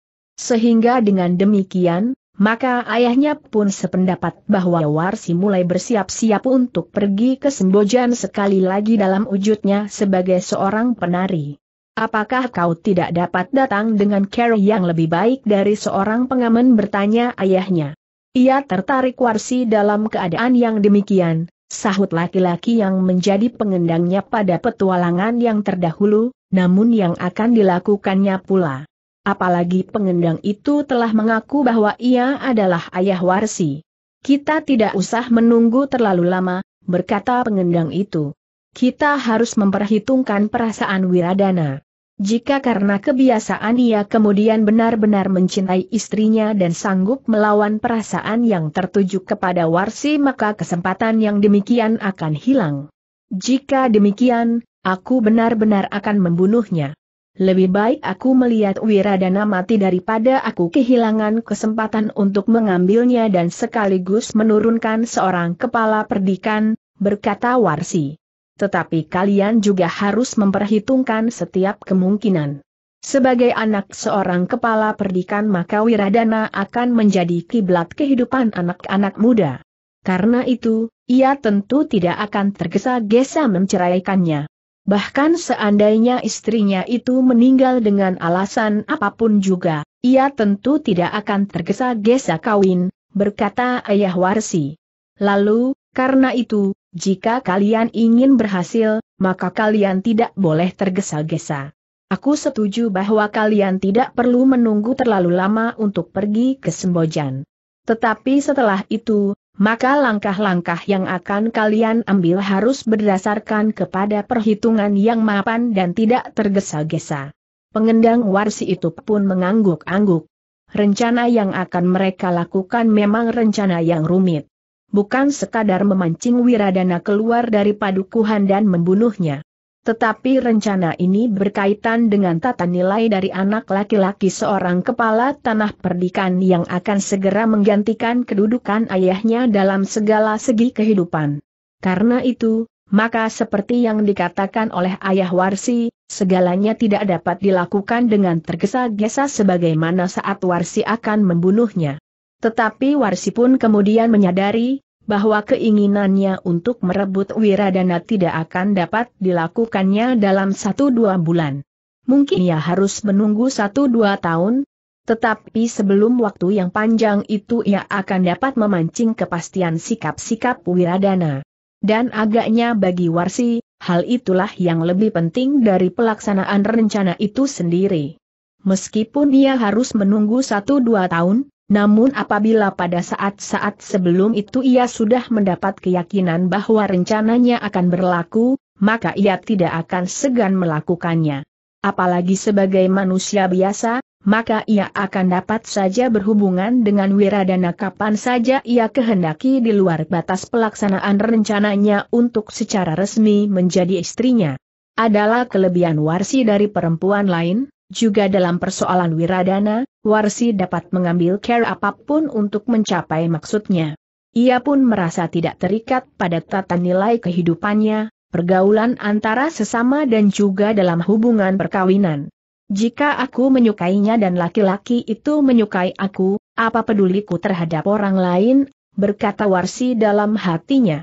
Dengan bekal sikap itulah, maka ia pun menyusun rencana bersama dengan ayahnya dan pengendangnya untuk kembali ke tanah perdikan Sembojan. Namun dalam pada itu, sebagaimana dikatakan oleh ayahnya, seorang laki-laki memang telah melamar Warsi. Justru masih ada hubungan darah dengan keluarga Warsi. Laki-laki yang kaya dan memiliki tanah yang luas serta keturunan orang baik-baik. Namun sayang bahwa laki-laki itu terlalu tua buat Warsi. Ayah dapat menolaknya, berkata Warsi. Jangan menunggu lebih lama lagi. Dengan demikian persoalannya akan cepat selesai. Ada keseganan untuk menolaknya dengan serta-merta, berkata ayahnya. Bukanlah keluarganya sudah kita kenal dengan baik. Tetapi itu bukan berarti bahwa kita tidak dapat menolaknya. Ayah dapat mempergunakan sikapku sebagai alasan. Aku tidak mau, geram Warsi. Ayah Warsi menarik nafas dalam-dalam. Ia sadar, bahwa ia memang harus menolak jika ia tidak ingin Warsi benar-benar mencekik laki-laki itu. Tetapi ayah Warsi itu pun sudah memperhitungkan, bahwa akibat dari penolakannya itu akan dapat menimbulkan persoalan tersendiri. Namun ayah Warsi bukan orang yang segera menjadi ketakutan menghadapi masalah-masalah yang sebenarnya ada di dalam dirinya bukanlah ketakutan. Tetapi justru kesegaran. Demikianlah, maka ketika keluarga laki-laki itu datang pada saat yang sudah dijanjikan, maka sebenarnya lah telah terjadi ketegangan itu. Jadi kau menolak bertanya tamunya. Maaf kakang, jawab ayah Warsi. Bukan maksudku menolak. Tetapi Warsi merasa keberatan untuk kawin dengan seorang laki-laki yang dianggapnya sudah terlalu tua. Anak kakang memang sudah terlalu tua buat Warsi. Kau jangan menghina. Sepekan yang lalu kau tentu sudah tahu bahwa anakku memang sudah tua. Tetapi nampaknya kau menerima lamaran itu. Bahkan sejak dua bulan yang lalu, aku sudah menyebut-nyebut meskipun belum secara terbuka. Dan kau tidak pernah menyatakan keberatanmu. Warsi pun belum pernah menunjukkan sikap sebagaimana kau katakan, berkata tamunya yang marah. Atau barangkali ada orang lain yang melamar anakmu dengan mas kawin yang lebih tinggi dari yang mungkin dapat aku berikan. Katakan berapa mas kawin yang kau minta? Jangan begitu kakang, jawab ayah Warsi. Aku bersikap wajar sekali. Warsi ternyata telah menolak. Jika sejak sebulan yang lalu, bahkan lebih lama lagi, aku tidak pernah menyatakan keberatanku dan Warsi pun tidak pernah menunjukkan sikap yang bertentangan dengan maksud itu. Semata-mata adalah karena Kakang adalah saudara yang lebih tua meskipun sudah tatanan ketiga. Tetapi kami masih mempunyai hubungan darah. Apalagi sikap Kakang waktu itu belum tegas. Baru sejak sebulan yang lalu, dan dengan resmi Kakang datang sepekan yang lalu pada saat Warsi tidak ada di rumah. Demikian Warsi pulang, maka aku pun mendapat keputusannya bahwa Warsi menolak maksud Kakang. Tetapi Warsi masih tetap menganggap keluarga Kakang sebagaimana keluarga sendiri. Warsi memang ingin tetap dalam hubungan kadang saja dan tidak terikat dalam hubungan perkawinan. Kau memang pandai menyusun alasan-alasan, berkata orang yang datang melamar itu. Tetapi kau harus sadar, bahwa yang kau lakukan adalah satu penghinaan. Kau harus belajar dari pengalaman hidup, bahwa orang yang terhina akan dapat melakukan sesuatu yang kadang-kadang tidak pada tempatnya. Jangan berkata begitu kakang, jawab ayah Warsi. Kakang pun tentunya tahu, jika perkawinan yang tidak dikehendaki oleh salah satu pihak itu dipaksakan, maka akibatnya juga akan kurang baik. Mungkin perkawinan itu tidak akan berlangsung lama. Jika hal yang demikian terjadi, padahal keduanya sudah dikaruniai satu atau dua orang anak, maka akibatnya akan lebih parah lagi. Anak-anak itu akan menjadi perekat perkawinan, berkata tamunya. Tetapi tidak jarang terjadi, bahwa hidup seorang istri justru menderita selama itu. Ia hanya bertahan untuk dapat disebut seorang perempuan yang setia. Namun batinnya telah tersiksa. Karena itu sebaiknya, perkawinan itu benar-benar dapat diterima oleh kedua belah pihak, jawab Payah Warsi. Segalanya tergantung kepadamu. Anakmu adalah seorang perempuan. Ia akan dapat kau paksa menurut perintahmu, berkata orang yang melamar itu. Sudah aku katakan, perkawinan yang demikian tidak akan dapat mendatangkan kebahagiaan, jawab Ayah Warsi. Aku sudah datang ke rumah ini beberapa kali. Sekarang kau berani menghina aku seperti itu, geram orang yang datang melamar Warsi, apakah kau menyadari apa artinya? Apa maksudmu mengancam kakang bertanya ayah Warsi? Apa saja namanya, tetapi penghinaan ini akan dapat berakibat buruk bagimu, jawab orang itu. Kakang, berkata ayah Warsi. Ketika aku menanyakan sikap Warsi, aku berkata kepadanya, bahwa bakal suaminya adalah seorang laki-laki yang kaya dan keturunan orang baik-baik. Aku menjelaskan kepadanya pengertian baik-baik sebagaimana aku maksudkan. Tetapi sikap kakang yang mengancam itu bukannya sikap seorang yang baik-baik menurut pengertian yang aku katakan kepada Warsi, sebut saja aku memang bukan orang baik-baik, jawab orang itu. Tetapi aku memang kaya. Aku dapat membeli seisi padukuhan ini. Mungkin di padukuhan ini kau dianggap orang yang paling kaya. Perabot rumahmu termasuk perabot yang baik. Rumahmu pun termasuk rumah yang besar dengan halaman yang luas. Tetapi kau sudah tahu, bahwa aku dapat membeli rumah yang besarnya lipat dua dari rumah ini buat Warsi. Sudahlah kakang, jawab ayah Warsi. Aku benar-benar mohon maaf. Tetapi kakang jangan mengancam begitu. Akibatnya memang akan kurang baik. Bukankah kita mempunyai aliran darah yang bersumber dari orang yang sama, meskipun dalam tataran yang sudah terpisah beberapa keturunan? Aku tidak peduli, jawab orang itu. Jika kau mengakui bahwa aliran darah itu lebih tua, maka kau jangan menghina keluargaku.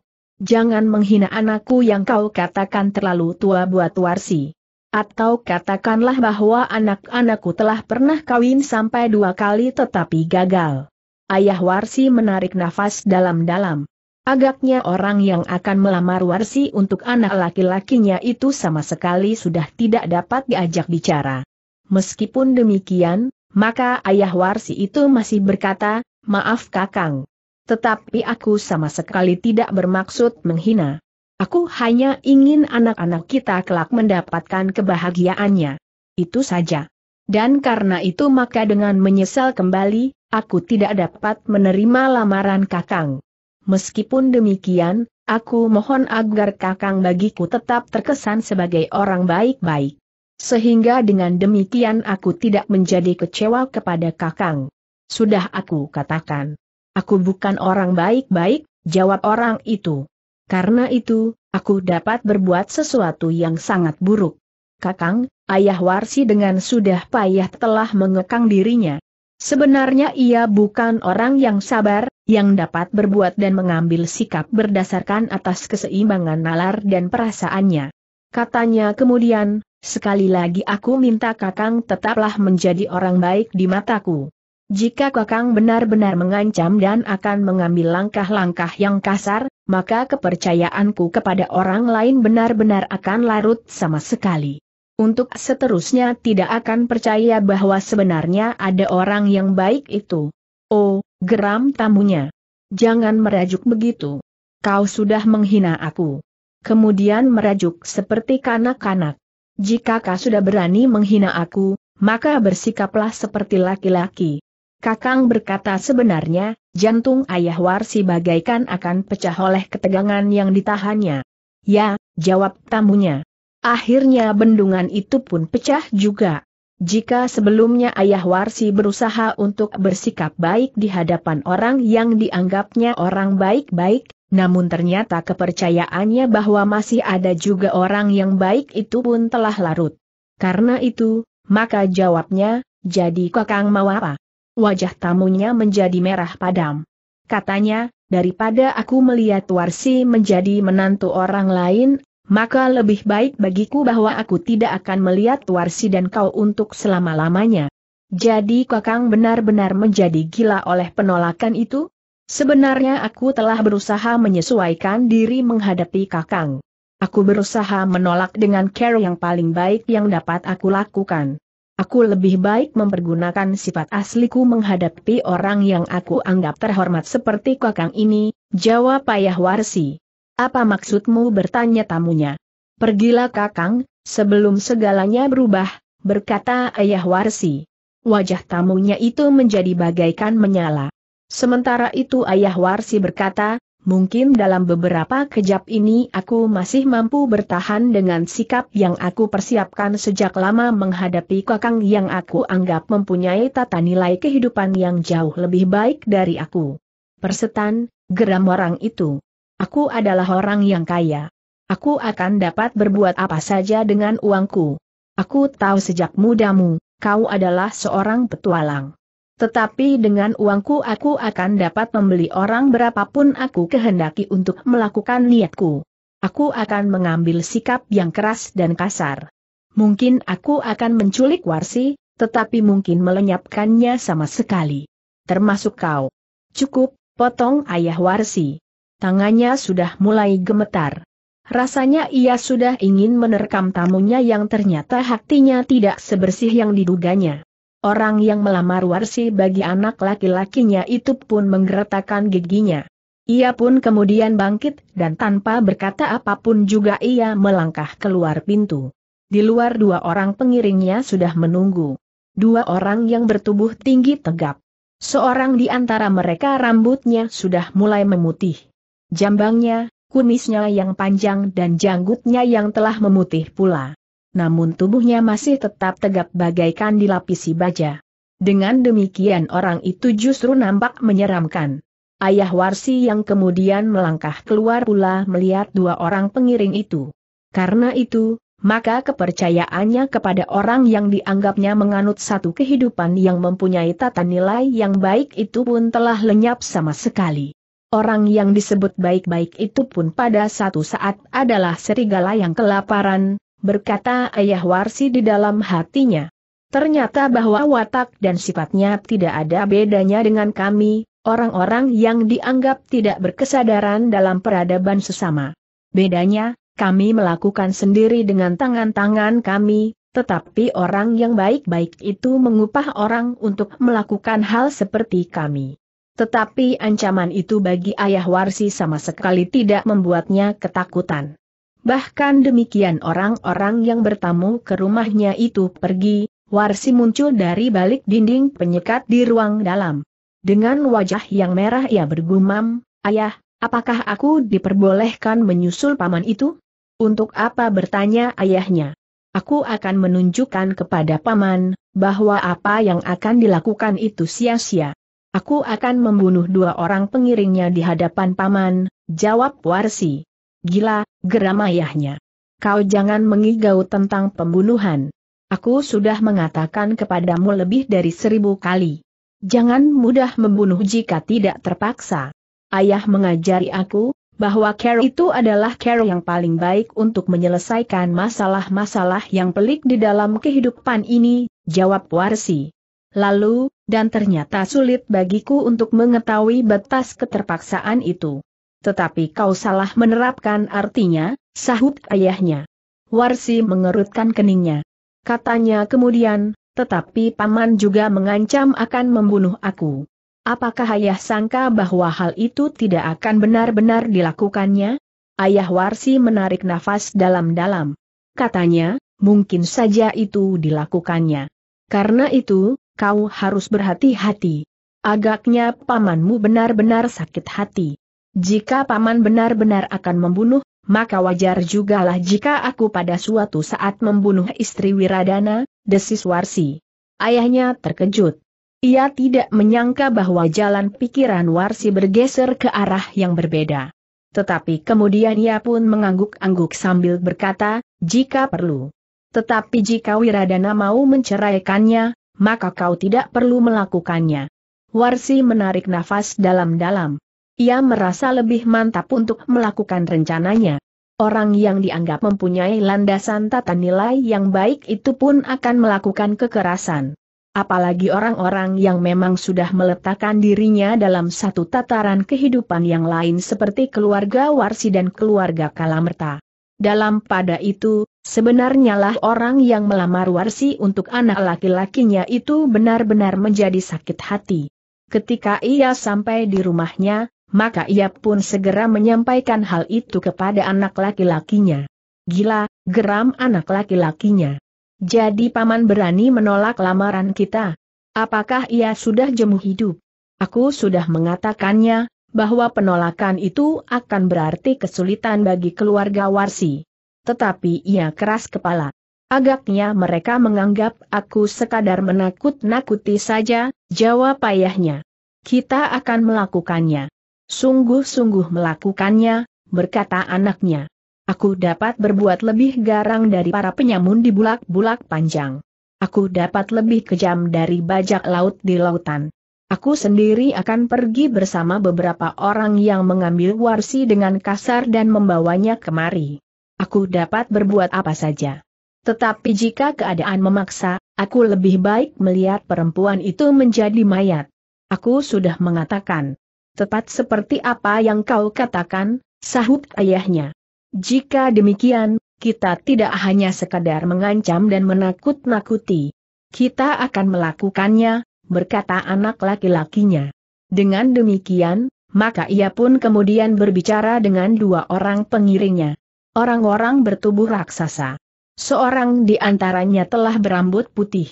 Kita akan membawa lima orang kawan, berkata laki-laki yang ingin memperistri Warsi itu. Aku akan membayar lipat, jika kita dapat membawa Warsi pulang dan menyimpannya di dalam rumah ini. Kedua orang pengiringnya itu tersenyum. Orang yang berambut putih itu berkata, kau hanya membuang-buang uang saja. Berikan uang itu kepadaku. Aku akan mengambilnya dan membawanya kepadamu. Omong kosong, jawab laki-laki yang ingin memperistri Warsi itu, Jangan dikira kalau keluarga Warsi itu tidak dapat mencari perlindungan. Ia juga termasuk orang yang kaya. Sementara itu, menurut pendengaranku, ayah Warsi adalah seorang yang suka bertualang. Apakah yang menarik, bahwa kau nampaknya tergila-gila kepada gadis itu? Jika ayahnya seorang petualang, apakah gadis itu gadis baik-baik bertanya orang bertubuh raksasa dan berambut putih itu. Aku tidak peduli, apakah ia gadis baik-baik atau bukan. Warsi adalah gadis yang sangat cantik. Tubuhnya merupakan idaman bagi setiap laki-laki. Itu saja. Mungkin aku memerlukannya untuk waktu yang lebih lama dari kedua perempuan yang sudah aku singkirkan itu, berkata laki-laki yang menginginkan warsi itu. Orang berambut putih itu tidak menjawab. Ia sudah terbiasa dengan sifat laki-laki itu. Setiap kali ia ingin pekerjaannya selesai dengan tuntas. Ia tidak ingin mengalami kegagalan. Karena itu, maka ia tidak tanggung-tanggung untuk mengambil keputusan sebagaimana ayahnya. Dalam pada itu, seperti yang dikatakan, maka laki-laki itu atas persetujuan ayahnya telah memanggil lima orang gegeduk yang dapat dipercaya untuk bersama-sama mengambil warsi. Bersama mereka adalah dua orang pengawal laki-laki yang menginginkan warsi, laki-laki itu sendiri dan ayahnya. Sembilan orang adalah satu pasukan segelar sepapan. Seakan-akan kita akan maju berperang merebut Pajang atau bahkan Jipang dan Demak sekaligus, berkata pemimpin sekelompok orang yang terdiri dari lima orang itu. Jangan besar kepala, bentak laki-laki yang ingin mengambil warsi itu. Kita tidak boleh gagal. Kapan kita berangkat bertanya ayah laki-laki itu? Kita akan mengambilnya malam hari, jawab anak laki-lakinya. Seperti yang direncanakan, maka ketika malam mulai membayang, mereka pun segera bersiap-siap. Sembilan orang di atas punggung kuda dan senjata di tangan. Ada di antara mereka yang menyelipkan golok di pinggangnya. Tetapi ada yang membawa tombak pendek dengan metu ngeri pandan. Ada yang membawa kapak bertangkai pendek dirangkapi dengan sebuah perisai yang tidak begitu besar. Sedangkan raksasa berambut putih itu menggantungkan bindinya di pelana kudanya, sementara sebuah pedang pendek tetapi besar terselip di pinggangnya. Kawannya, juga seorang yang bertubuh raksasa tetapi berkepala kecil, bersenjata pedang lengkung yang didapatnya dari seorang kawannya yang pernah mengembara ke seberang lautan. Pedang yang tajamnya melampaui tajamnya welat pring wulung itu merupakan senjata yang sangat disegani lawan-lawannya. Namun dalam pada itu, orang-orang yang agaknya menunggu malam mendekati puncaknya. Mereka akan berkuda langsung menuju ke rumah Warsi. Mereka tidak akan terhalang oleh para peronda yang akan dengan mudah mereka takut-takuti. Apalagi mereka berjumlah sembilan orang. Ingat, berkata laki-laki yang menginginkan Warsi, gadis itu jangan sampai terluka kulitnya. Ia harus kita dapatkan utuh sebagaimana selalu kau lihat sebelumnya. Jika ia melawan bertanya pemimpin dari kelima orang yang diupah untuk pergi bersama ke rumah warsi itu. Apa artinya tenaga seorang perempuan? Tetapi biarlah aku sendiri yang akan menangkapnya. Aku tidak mau kulit kalian yang kasar itu menggores kulit warsi, jawab laki-laki yang tergila-gila kepada warsi itu. Orang-orang yang mendengar jawaban itu tertawa berkepanjangan. Bahkan akhirnya orang itu sendiri pun tertawa pula sambil berkata, nah, hanya aku yang boleh menyentuhnya. Mengerti? Tidak ada jawaban. Tetapi suara tertawa itu masih terdengar. Dalam pada itu, sebenarnya lah bahwa perjalanan mereka sama sekali tidak terganggu. Jika mereka melewati regol yang dijaga, maka laki-laki yang bersenjata tombak pendek dengan mata ngeri pandan itu berkata kepada anak-anak muda di regol itu, beri kami jalan. Kami sedang mengejar segerombolan perampok. Mereka tidak lewat jalan ini, pada umumnya para penjaga itu menjawab demikian. Kami mengambil jalan memintas. Mereka merampok di rumah Ki Demang Watu Mulih, jawab orang bertombak itu pula tidak seorang pun yang mencegah mereka lewat. Selain mereka percaya akan keterangannya, maka tidak akan ada kekuatan di padukuhan itu untuk menahan agar kesembilan orang itu tidak meninggalkan gardu mereka. Dengan demikian, maka sedikit lewat tengah malam, maka orang-orang itu sudah mendekati padukuhan tempat Warsi tinggal pemimpin dari kelima orang itu pun kemudian berdesis, kita tidak boleh memberikan kesan yang dapat memaksa para peronda memukul tanda bahaya jika mereka mencurigai kita. Kita akan memberikan jawaban seperti yang sudah kami lakukan, jawab raksasa berkepala kecil itu. Pemimpin dari lima orang gegeduk itu mengangguk. Tetapi katanya, ada beberapa perbedaan. Padukuhan ini adalah padukuhan tempat tinggal Warsi. Jika ayahnya menjadi cemas atas ancaman yang pernah diucapkan, maka ia tentu telah memberitahukan kepada para peronda kemungkinan seperti ini.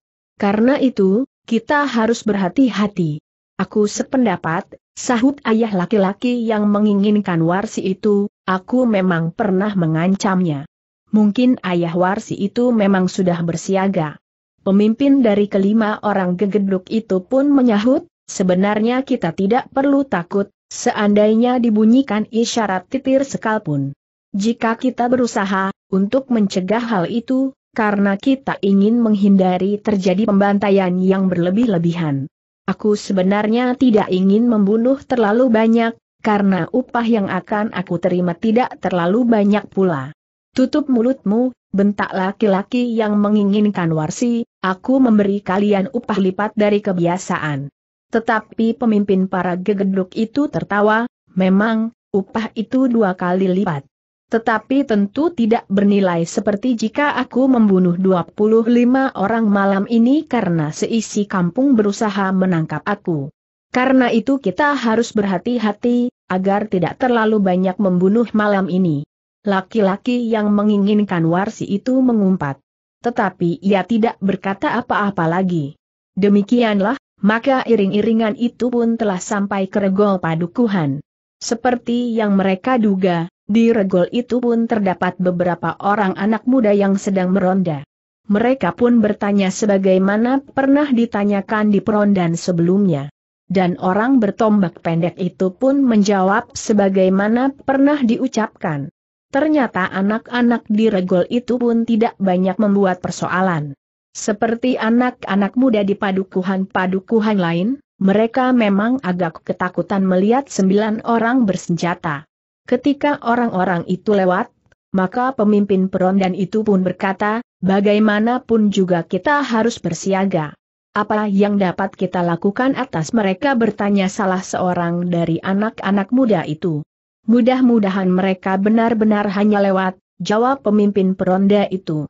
Tetapi jika tidak, dan mereka ingin mengganggu ketenangan padukuhan kita, setidak-tidaknya kita dapat membunyikan isyarat dengan kentongan. Tapi rasa-rasanya memang ngeri berurusan dengan orang-orang itu. Meskipun demikian, bagaimanapun juga ada secercah perasaan tanggung jawab di hati anak-anak muda itu.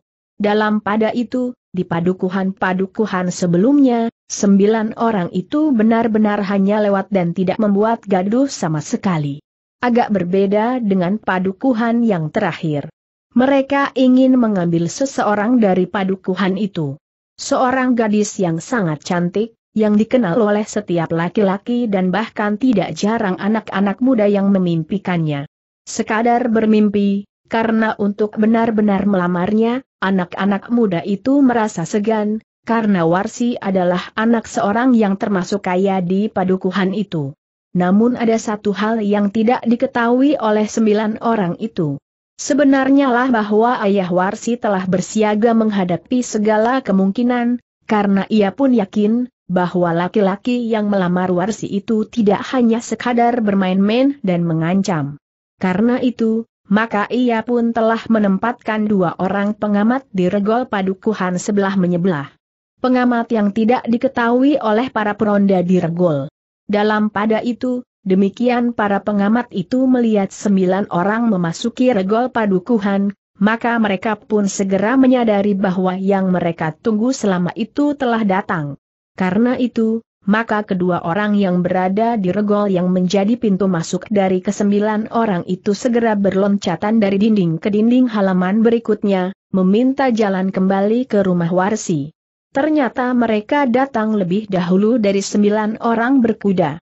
Mereka sempat mengetuk pintu dan membangunkan Warsi dan ayahnya serta para pengikutnya yang pernah menjadi pengiring pada saat Warsi pergi ke Sembojan. Dengan cepat maka mereka pun segera mengeterapkan pembicaraan-pembicaraan yang pernah mereka lakukan sebelumnya. Beberapa orang pengikut ayah Warsi itu pun tiba-tiba telah menghilang dari halaman. Namun sebelumnya ayah Warsi berpesan, mereka tentu mengambil jalan keluar yang lain dari saat mereka memasuki padukuhan. Mereka tidak akan menempuh jalan kembali melalui gardu para peronda di Regol. Tetapi mereka akan mengambil jalan berikutnya. Karena itu, maka para pengikut Warsi itu pun mengetahui ke mana mereka harus pergi. Baru sesaat kemudian, maka sembilan orang berkuda telah memasuki regol halaman rumah Warsi. Tidak ada seseorang pun yang menjaga rumah itu. Halaman rumah itu nampaknya sepi saja. Tidak ada tanda-tanda kesiagaan dari keluarga Warsi. Gila, geram ayah laki-laki yang menginginkan Warsi, ternyata mereka tidak percaya. Ternyata mereka menganggap bahwa aku hanya main-main saja dengan ancamanku. Dan itu sangat menyakitkan hati. Pemimpin dari kelima orang gegeduk itu tertawa, katanya, kalian menyesal bahwa kalian telah bersedia membayar kami berlima tanpa berbuat apa-apa. Persetan, geram laki-laki yang menginginkan warsi. Apa pun yang terjadi, tetapi upah kami tetap. Dua kali lipat jika kita berhasil membawa warsi utuh sampai ke rumah kalian, berkata pemimpin gegeduk yang lima orang itu. Laki-laki yang menginginkan warsi tidak menjawab. Tetapi ia pun kemudian segera turun dari kudanya dan naik ke pendapa. Ayahnya lah yang kemudian mengatur orang-orangnya untuk berjaga-jaga, karena bagaimanapun juga mereka harus berhati-hati. Perlahan-lahan laki-laki itu mengetuk pintu. Beberapa kali. Semakin lama semakin keras.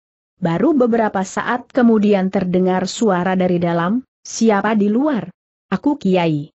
Peronda di regol padukuhan, jawab laki-laki itu. Peronda ulang suara di dalam. Ya, aku mengantarkan seorang tamu yang mencari rumah Kiai jawab yang di luar. Siapa tamunya bertanya orang yang di dalam.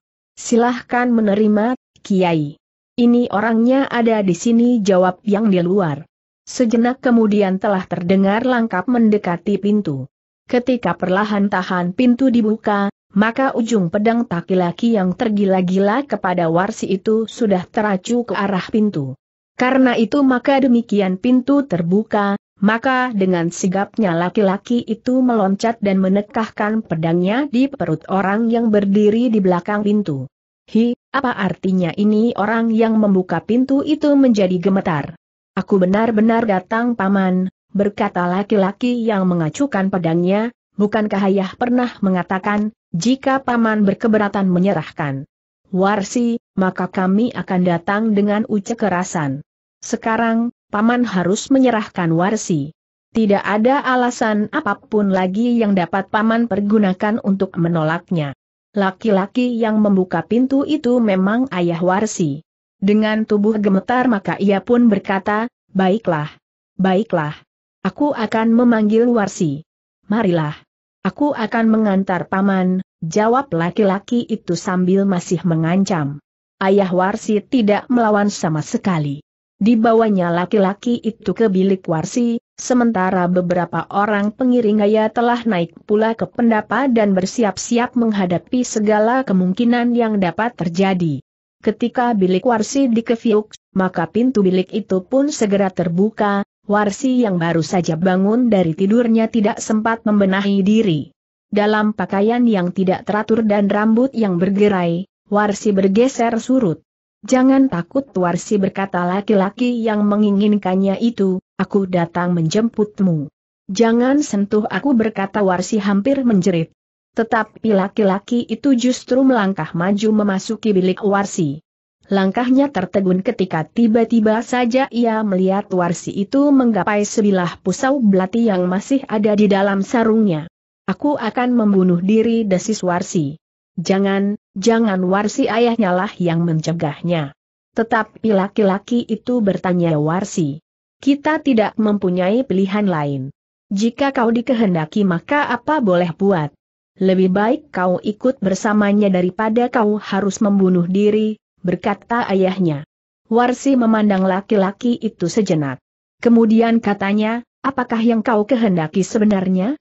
Kau, apakah kau masih belum yakin bertanya laki-laki itu? Warsi termangu-mangu. Namun kemudian katanya, bagaimana jika aku menolak? Aku tidak mempunyai pilihan lain Warsi. Kau, ayahmu dan seisi rumah ini akan aku binasakan. Bagiku, lebih baik aku tidak melihatmu selamanya daripada melihatmu bersama laki-laki lain, jawab laki-laki itu. Warsi memandang laki-laki itu dengan tajamnya. Baru sejenak kemudian ia berkata, keluarlah. Aku akan membenahi diri. Kau tidak perlu membenahi dirimu. Ikut aku dalam keadaan itu.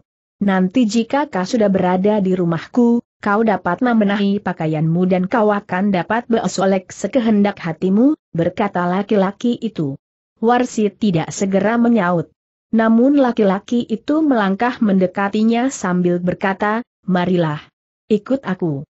Bagaimana dengan ayahku bertanya Warsi? Aku tidak memerlukannya.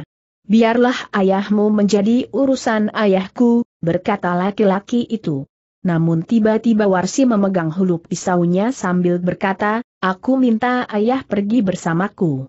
Jika tidak, aku menolak keinginanmu, aku akan membunuh diri. Sejenak laki-laki itu termangu-mangu. Ketika kemudian ayahnya juga memasuki bilik itu dan mendengar permintaan Warsi ia mengumpat, buat apa aku membawa ayahmu Warsi? Aku memerlukannya paman, jawab Warsi. Jika paman tidak mau membawa ayah bersama kami, maka aku pun menolak untuk pergi. Jika paman memaksa, maka aku akan membunuh diri sekarang di hadapan paman dan ayah. Tunggu, berkata ayah laki-laki yang menginginkan warsi itu. Namun kemudian sambil menarik nafas dalam-dalam ia berkata, apa boleh buat? Dengan demikian maka orang-orang yang datang ke rumah warsi itu pun telah bersiap-siap untuk kembali. Pemimpin dari lima orang gegeduk yang menunggu di halaman tertawa sambil berkata, alangkah mudahnya pekerjaannya hari ini. Sementara itu, aku akan mendapat upah dua kali lipat. Tutup mulutmu, geram laki-laki yang membimbing Warsi. Warsi mengikuti saja. Namun pisaunya masih terselip pada ikat pinggangnya. Ketika laki-laki itu mencoba untuk mengambilnya, Warsi sama sekali tidak memberikannya. Dalam pada itu, dua orang pengiring laki-laki yang datang itu telah menyiapkan dua ekor kuda dari kandang ayah Warsi sendiri. Kemudian kedua ekor kuda itu diperuntukkan bagi Warsi dan ayahnya. Aku tidak dapat naik kuda, berkata Warsi. Laki-laki yang menginginkannya itu pun termangu-mangu sejenak. Namun katanya kemudian, jika demikian, marilah. Berkuda saja bersama aku aku akan dapat menjagamu. Warsi memandang laki-laki itu dengan tajamnya. Namun kemudian ia berdesis, aku akan berkuda sendiri. Bukankah kau tidak terbiasa berkata laki-laki yang mengambilnya itu? Tetapi aku tidak mau berkuda berdua, kecuali dengan ayah, jawab Warsi. Baiklah. Cobalah berkuda sendiri. Kita tidak tergesa-gesa, jawab laki-laki yang mengambilnya itu. Demikianlah, maka sejenak kemudian sebuah iring-iringan telah meninggalkan halaman rumah Warsi. Laki-laki yang akan mengambilnya itu berusaha menuntun kuda yang dipergunakan oleh Warsi sambil duduk di punggung kudanya sendiri. Sementara itu, ayah Warsi berkuda di belakang diiringi oleh dua orang bertubuh raksasa yang pernah datang ke rumah Warsi sebelumnya. Sementara itu lima orang upahan yang bersama mereka, berkuda berpencar. Kadang-kadang pimpinannya ada di depan. Tetapi kadang-kadang ada di belakang. Ketika iring-iringan itu keluar dari regol padukuhan di arah yang lain dari saat mereka datang, sebagaimana diperhitungkan oleh ayah Warsi, maka laki-laki yang menginginkan Warsi itu minta agar ayah Warsi lah yang menjawab jika para peronda nanti bertanya. Bagaimana jawabku bertanya ayah Warsi? Katakan, bahwa kau akan pergi ke tempat keluargamu yang sakit keras. Katakan bahwa kami adalah orang-orang yang menjemputmu, jawab laki-laki itu. Sekian banyaknya, bertanya ayah Warsi. Mereka tidak akan berpikir seperti itu. Tetapi seandainya mereka bertanya juga, maka kau dapat menjawab, Bahwa jalan yang akan kita tempuh adalah jalan yang berbahaya, jawab laki-laki yang mengambil Warsi. Ayah Warsi tidak menjawab. Tetapi satu dari perhitungannya, justru landasannya, ternyata tepat. Iring-iringan itu tidak keluar padukuhan dengan menempuh jalan kembali. Tetapi mereka mengambil jalan seterusnya dan keluar di regol yang lain. Sebagaimana mereka duga, maka di regol anak-anak muda yang sedang meronda pun telah bertanya. Seperti yang dipesan, maka ayah Warsi pun menjawab bahwa iring-iringan itu akan pergi ke tempat keluarganya yang sedang sakit. Mereka datang menjemput aku di tengah malam, karena keadaan yang gawat, berkata ayah Warsi kepada anak muda yang sudah dikenal dan mengenalnya. Memang tidak ada yang bertanya, kenapa yang menjemputnya sebuah iring-iringan yang besar. Sehingga karena itu, maka ayah Warsi pun tidak perlu menjelaskannya. Demikian mereka keluar dari regol padukuhan, maka orang-orang dalam iring-iringan itu menarik nafas dalam-dalam rasa-rasanya mereka telah selesai dengan sebuah tugas yang besar. Namun sekali lagi pemimpin dari lima orang yang diupah oleh laki-laki yang menginginkan warsi itu berdesis, aku merasa tugasku kali ini menyenangkan sekali dengan upah yang cukup. Sementara itu, raksasa yang berambut putih pun tersenyum pula. Katanya, aku sudah menawarkan diri untuk melakukannya. Tetapi segala sesuatunya harus meyakinkan bahwa tidak akan gagal. Tidak ada yang menyahut lagi. Iring-iringan itu berjalan tidak terlalu cepat, karena Warsi menurut pengakuannya belum terbiasa duduk di punggung kuda. Apalagi Warsi harus duduk dengan kedua belah kakinya di satu sisi, karena ia mengenakan kain panjang. Setiap kali Warsi harus membetulkan letak duduknya karena setiap kali rasa-rasanya tubuhnya akan meluncur turun. Cobalah letakkan kakimu pada Sanggawadi, berkata laki-laki yang menginginkan Warsi. Kita harus berjalan lebih cepat sedikit. Kita harus sampai ke rumahku sebelum dini hari. Sebelum orang-orang bangun dan menyapu halaman atau bahkan pergi ke pasar. Aku tidak dapat, jawab Warsi. Jika kau mengalami kesulitan, duduk saja bersamaku di sini, ajak laki-laki itu. Tidak mau, Warsi tetap menolak. Laki-laki itu tidak memintanya lagi. Tetapi ia berusaha untuk mempercepat perjalanan mereka. Jika mereka sampai di sebuah simpang empat di tengah-tengah bulak, mereka harus berbelok dan melingkari padukuhan tempat tinggal Warsi kembali ke jalan yang semula mereka sama sekali tidak akan merasa cemas atas pertanyaan-pertanyaan dari anak-anak muda yang berada di gardu-gardu. Mereka akan dapat menjawab apa saja seandainya ada di antara mereka yang akan mempertanyakan warsi yang ikut dalam iring-iringan itu. Untuk beberapa saat perjalanan itu sama sekali tidak terganggu. Meskipun ayah laki-laki yang menginginkan warsi itu sama sekali tidak merasa senang, bahwa ayah Warsi bersama mereka, namun ia tidak dapat berbuat lain. Jika ia memaksa orang itu tinggal dan apalagi diperlakukan buruk, maka Warsi benar-benar akan dapat melakukan satu tindakan yang tidak menguntungkan. Dalam pada itu, mereka telah menjadi semakin dekat dengan simpang empat di tengah-tengah bulak.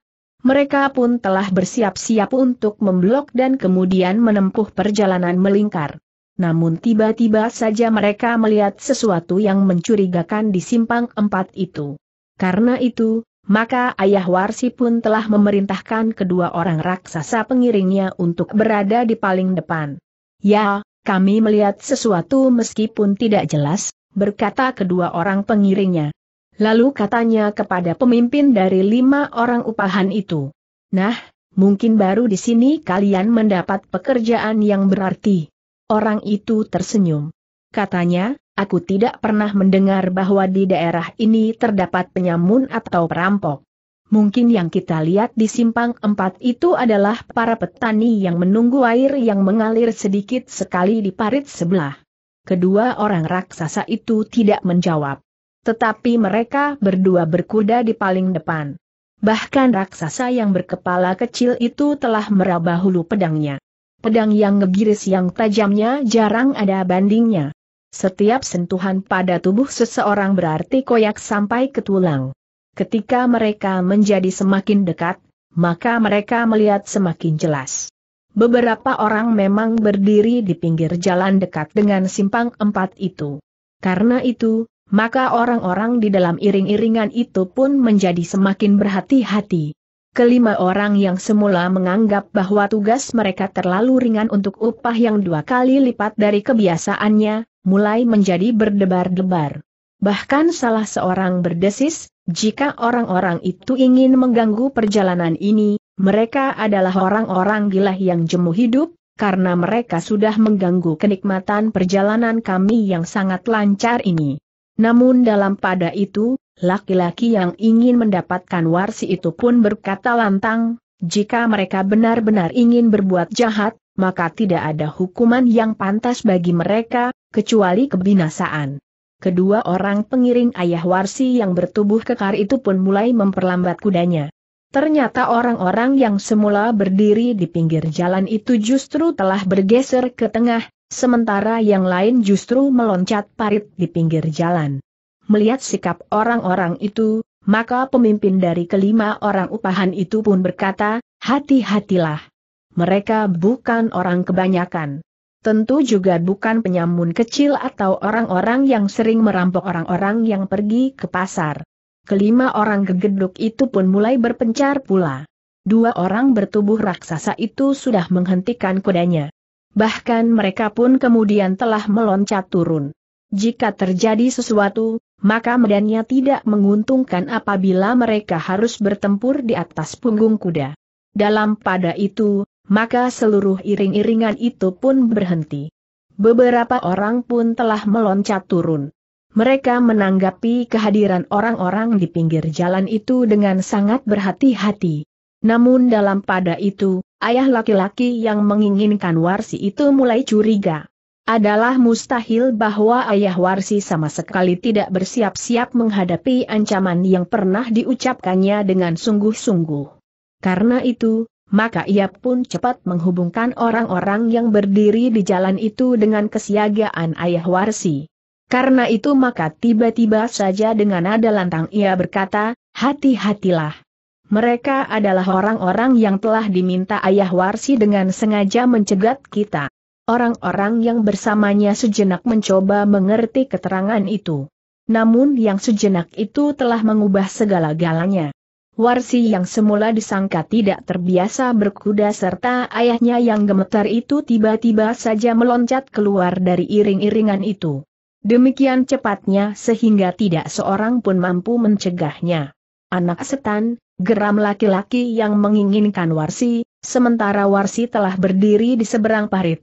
Seorang laki-laki di antara mereka yang mencegat iring-iringan itu telah meloncat pula mendekatinya seakan-akan siap untuk melindunginya.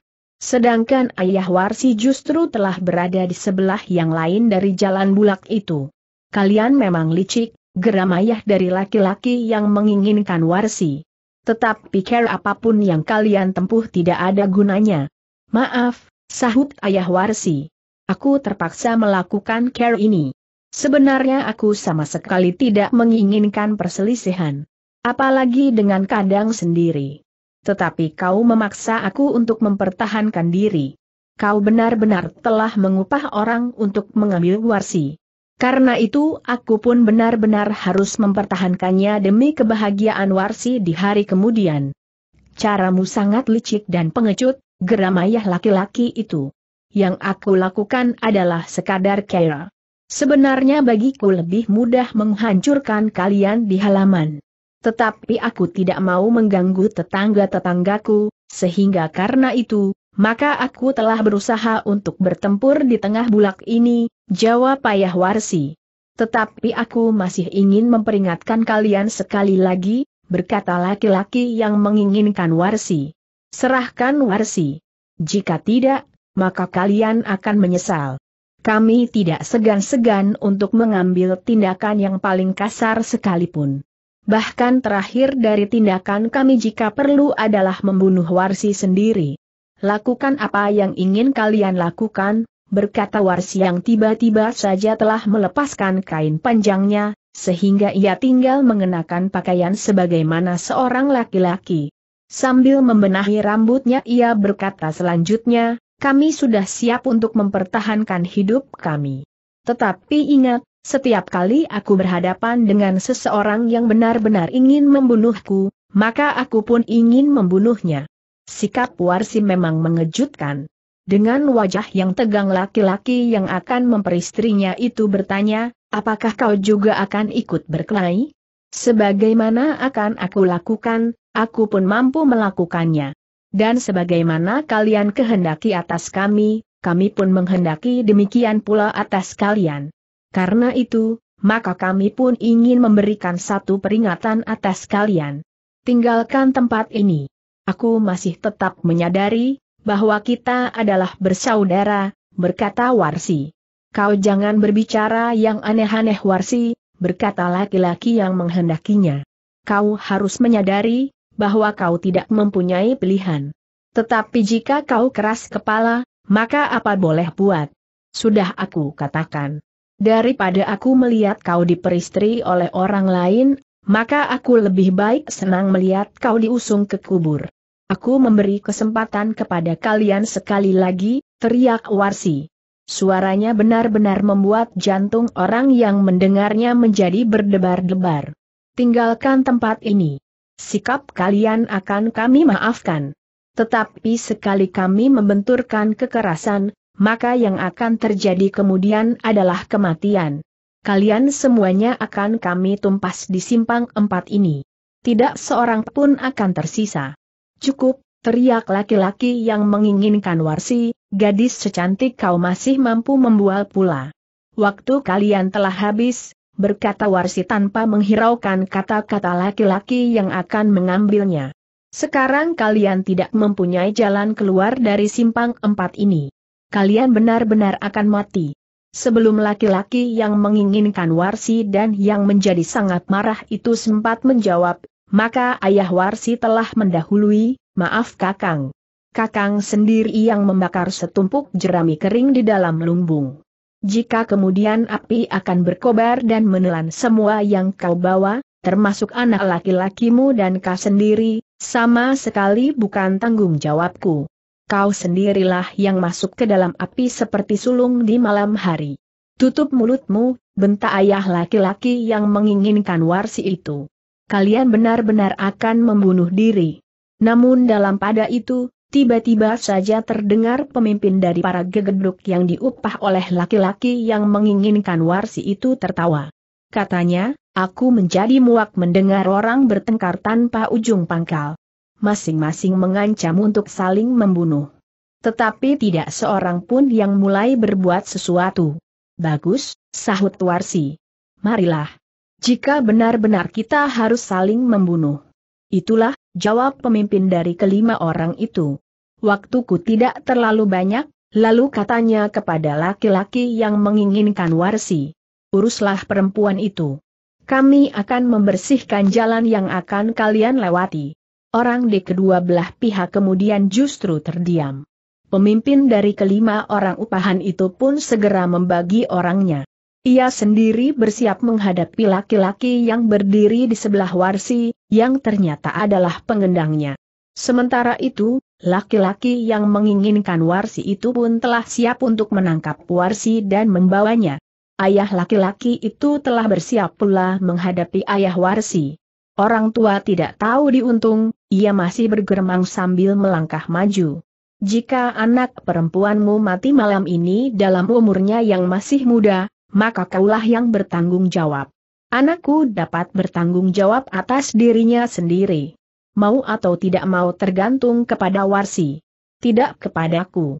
Karena itu, tanggung jawabnya pun ada pada anakku sendiri, berkata ayah Warsi. Kau gila. Kau mau mencuci tangan Hi. Jika anakmu mati, kau persalahkan anakmu itu sendiri, geram ayah laki-laki itu. Segalanya memang terserah kepadanya, jawab ayah Warsi. Ayah laki-laki yang menginginkan Warsi itu pun tidak sabar lagi. Tiba-tiba saja ia pun sudah meloncat menyerang sambil berteriak, kaulah yang harus dibunuh lebih dahulu. Ayah Warsi meloncat mengelak sambil berkata, kau tahu kakang, bahwa aku adalah seorang petualang. Karena itu, seharusnya lah kau menyadari, bahwa dalam keadaan yang memaksa aku dapat menjadi keras dan kasar. Sementara itu pengalaman pun cukup luas menghadapi keadaan yang lebih buruk dari keadaan ini. Tetapi ayah Warsi terpaksa berhenti berbicara. Tiba-tiba saja senjata lawannya berdesing hampir mengenai mulutnya. Dalam pada itu, maka orang-orang yang berada di simpang empat itu pun mulai bergerak. Lima orang gegeduk itu pun berpencar, sementara dua orang raksasa pengiring ayah laki-laki yang menginginkan warsi itu pun sudah mulai bergerak pula. Sejenak kemudian pertempuran benar-benar telah membakar simpang empat itu. Kedua belah pihak telah mendapatkan musuhnya masing-masing. Namun agaknya para pengikut Warsi jumlahnya lebih banyak dari sembilan orang yang datang ke rumahnya. Karena itu, maka raksasa yang berambut putih itu harus bertempur melawan dua orang. Ternyata orang yang bertubuh tegap kekar, meskipun rambutnya sudah mulai memutih, demikian pula jambangnya, kumis dan janggutnya, namun orang itu masih segarang harimau kelaparan. Demikianlah sejenak kemudian pertempuran telah menjadi semakin garang. Semua orang telah terlibat ke dalamnya, kecuali Warsi dan laki-laki yang ingin mengambilnya. Kenapa kau masih termangu-mangu bertanya Warsi? Kau jangan melakukan sesuatu yang dapat menyulitkan keadaanmu. Bagaimanapun juga, aku masih berusaha untuk menyelamatkanmu. Meskipun ayah sudah mengambil keputusan untuk membunuh semua orang tetapi aku akan dapat menyelamatkan kau, berkata laki-laki itu. Sudah dikatakan oleh ayah dan sudah aku katakan pula, aku tidak mau kau ambil dengan care apa pun juga. Apalagi dengan care yang kasar ini, berkata Warsi. Jika demikian, maka menyesal sekali, bahwa aku akan memperlakukan kau sebagaimana aku katakan, berkata laki-laki itu. Tetapi laki-laki itu menjadi haran. Warsi justru tertawa. Ia sama sekali tidak menjadi cemas apalagi ketakutan. Bahkan katanya, dengar. Aku sudah mengatakan.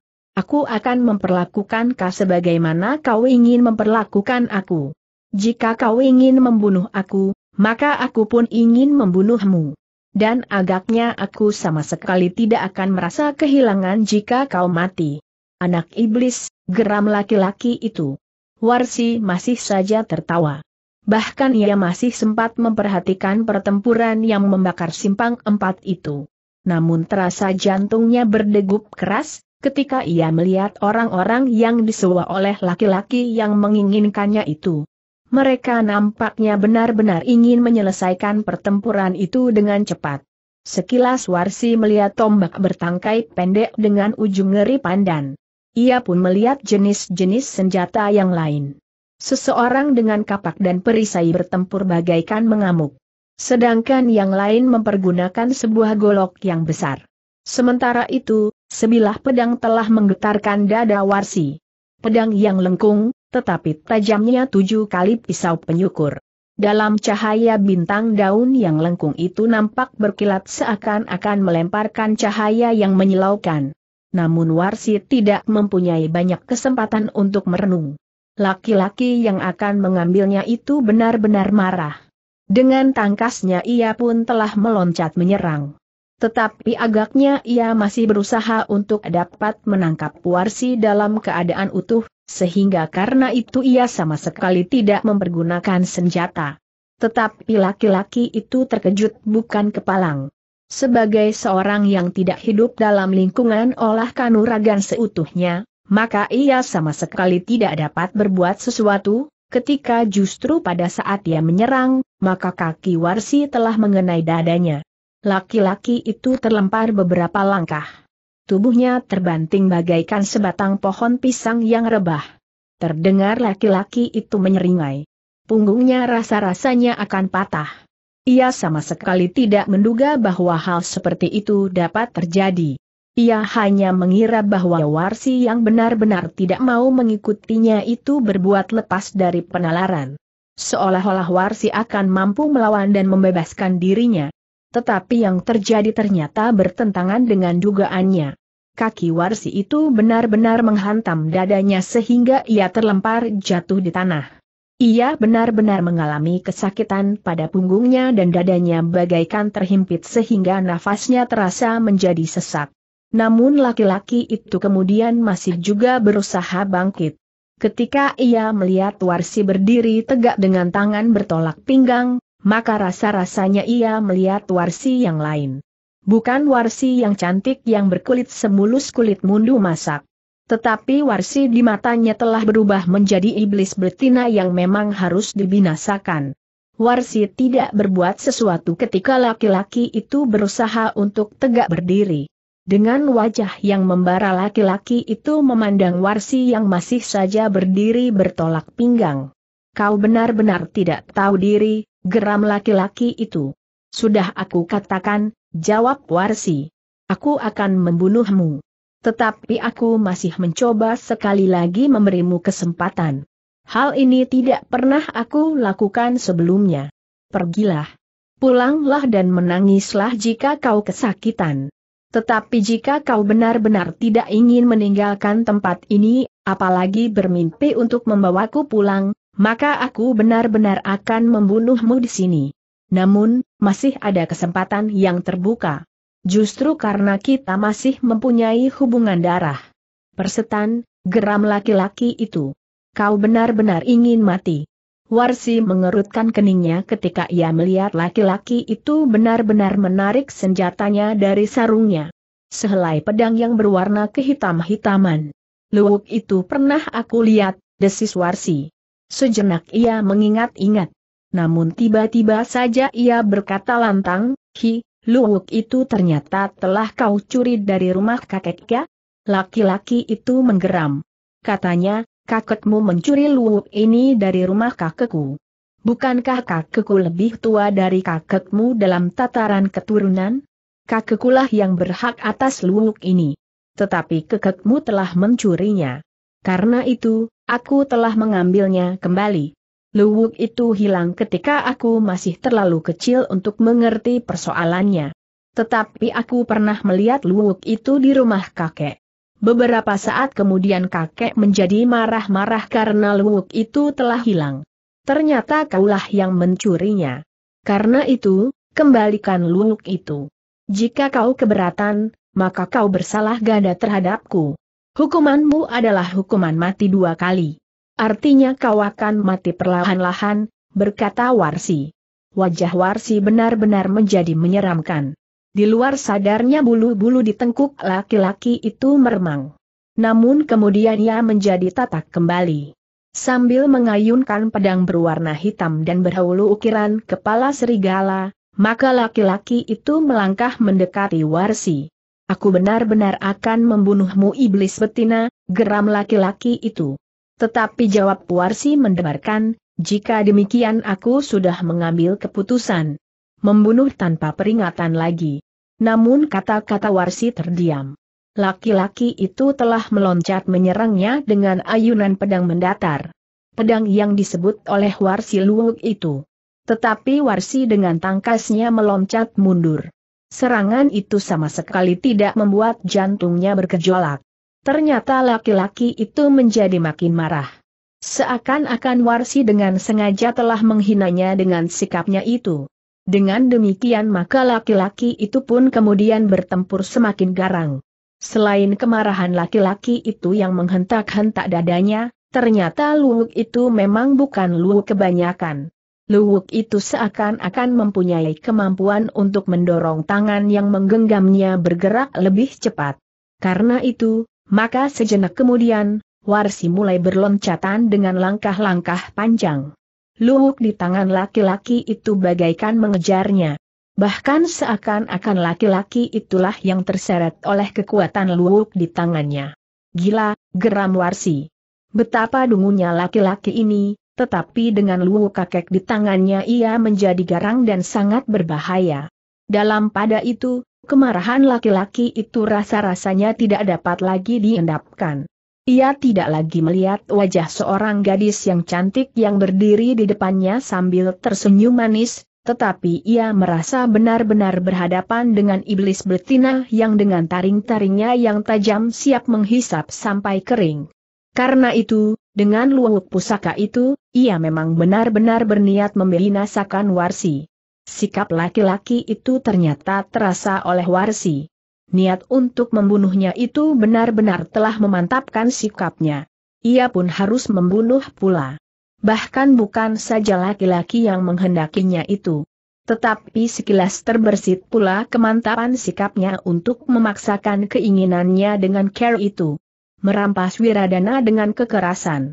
Sesaat kemudian Warsi pun benar-benar telah kehilangan kendali. Ia tidak mengingat lagi bahwa laki-laki itu adalah masih kadang sendiri. Apalagi laki-laki itu pun tidak pula mengingat hal yang demikian, sedangkan laki-laki itu dapat disebut seorang laki-laki dari keturunan baik-baik. Karena itu, maka sesaat kemudian, ketika Warsi menjadi semakin terdesak, ia pun telah mengurai rantainya dari balik bajunya. Rantai yang merupakan senjata andalannya. Sejenak kemudian rantai itu pun telah berputar di atas kepalanya. Suaranya berdesing seperti seribu kumbang yang berterbangan di sekitar sorangnya. Dalam pada itu, pertempuran antara dua kekuatan itu pun menjadi semakin lama semakin dahsyat. Orang berambut putih itu benar-benar seorang yang memiliki ilmu yang mapan dua orang lawannya sekali-kali justru merasa terdesak. Hanya karena kerjasama di antara mereka yang cukup rapi, maka keduanya mampu bertahan melawan amukan kekuatan orang berambut putih itu. Sementara itu, pedang lengkung yang berada di dalam genggaman raksasa berkepala kecil itu memang sangat mengerikan.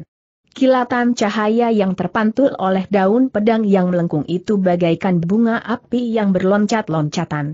Dalam pada itu, lima orang upahan yang bertempur di pihak laki-laki yang menginginkan warsi itu benar-benar bertempur dengan cara mereka. Mereka sama sekali tidak menghiraukan tata nilai apa pun juga.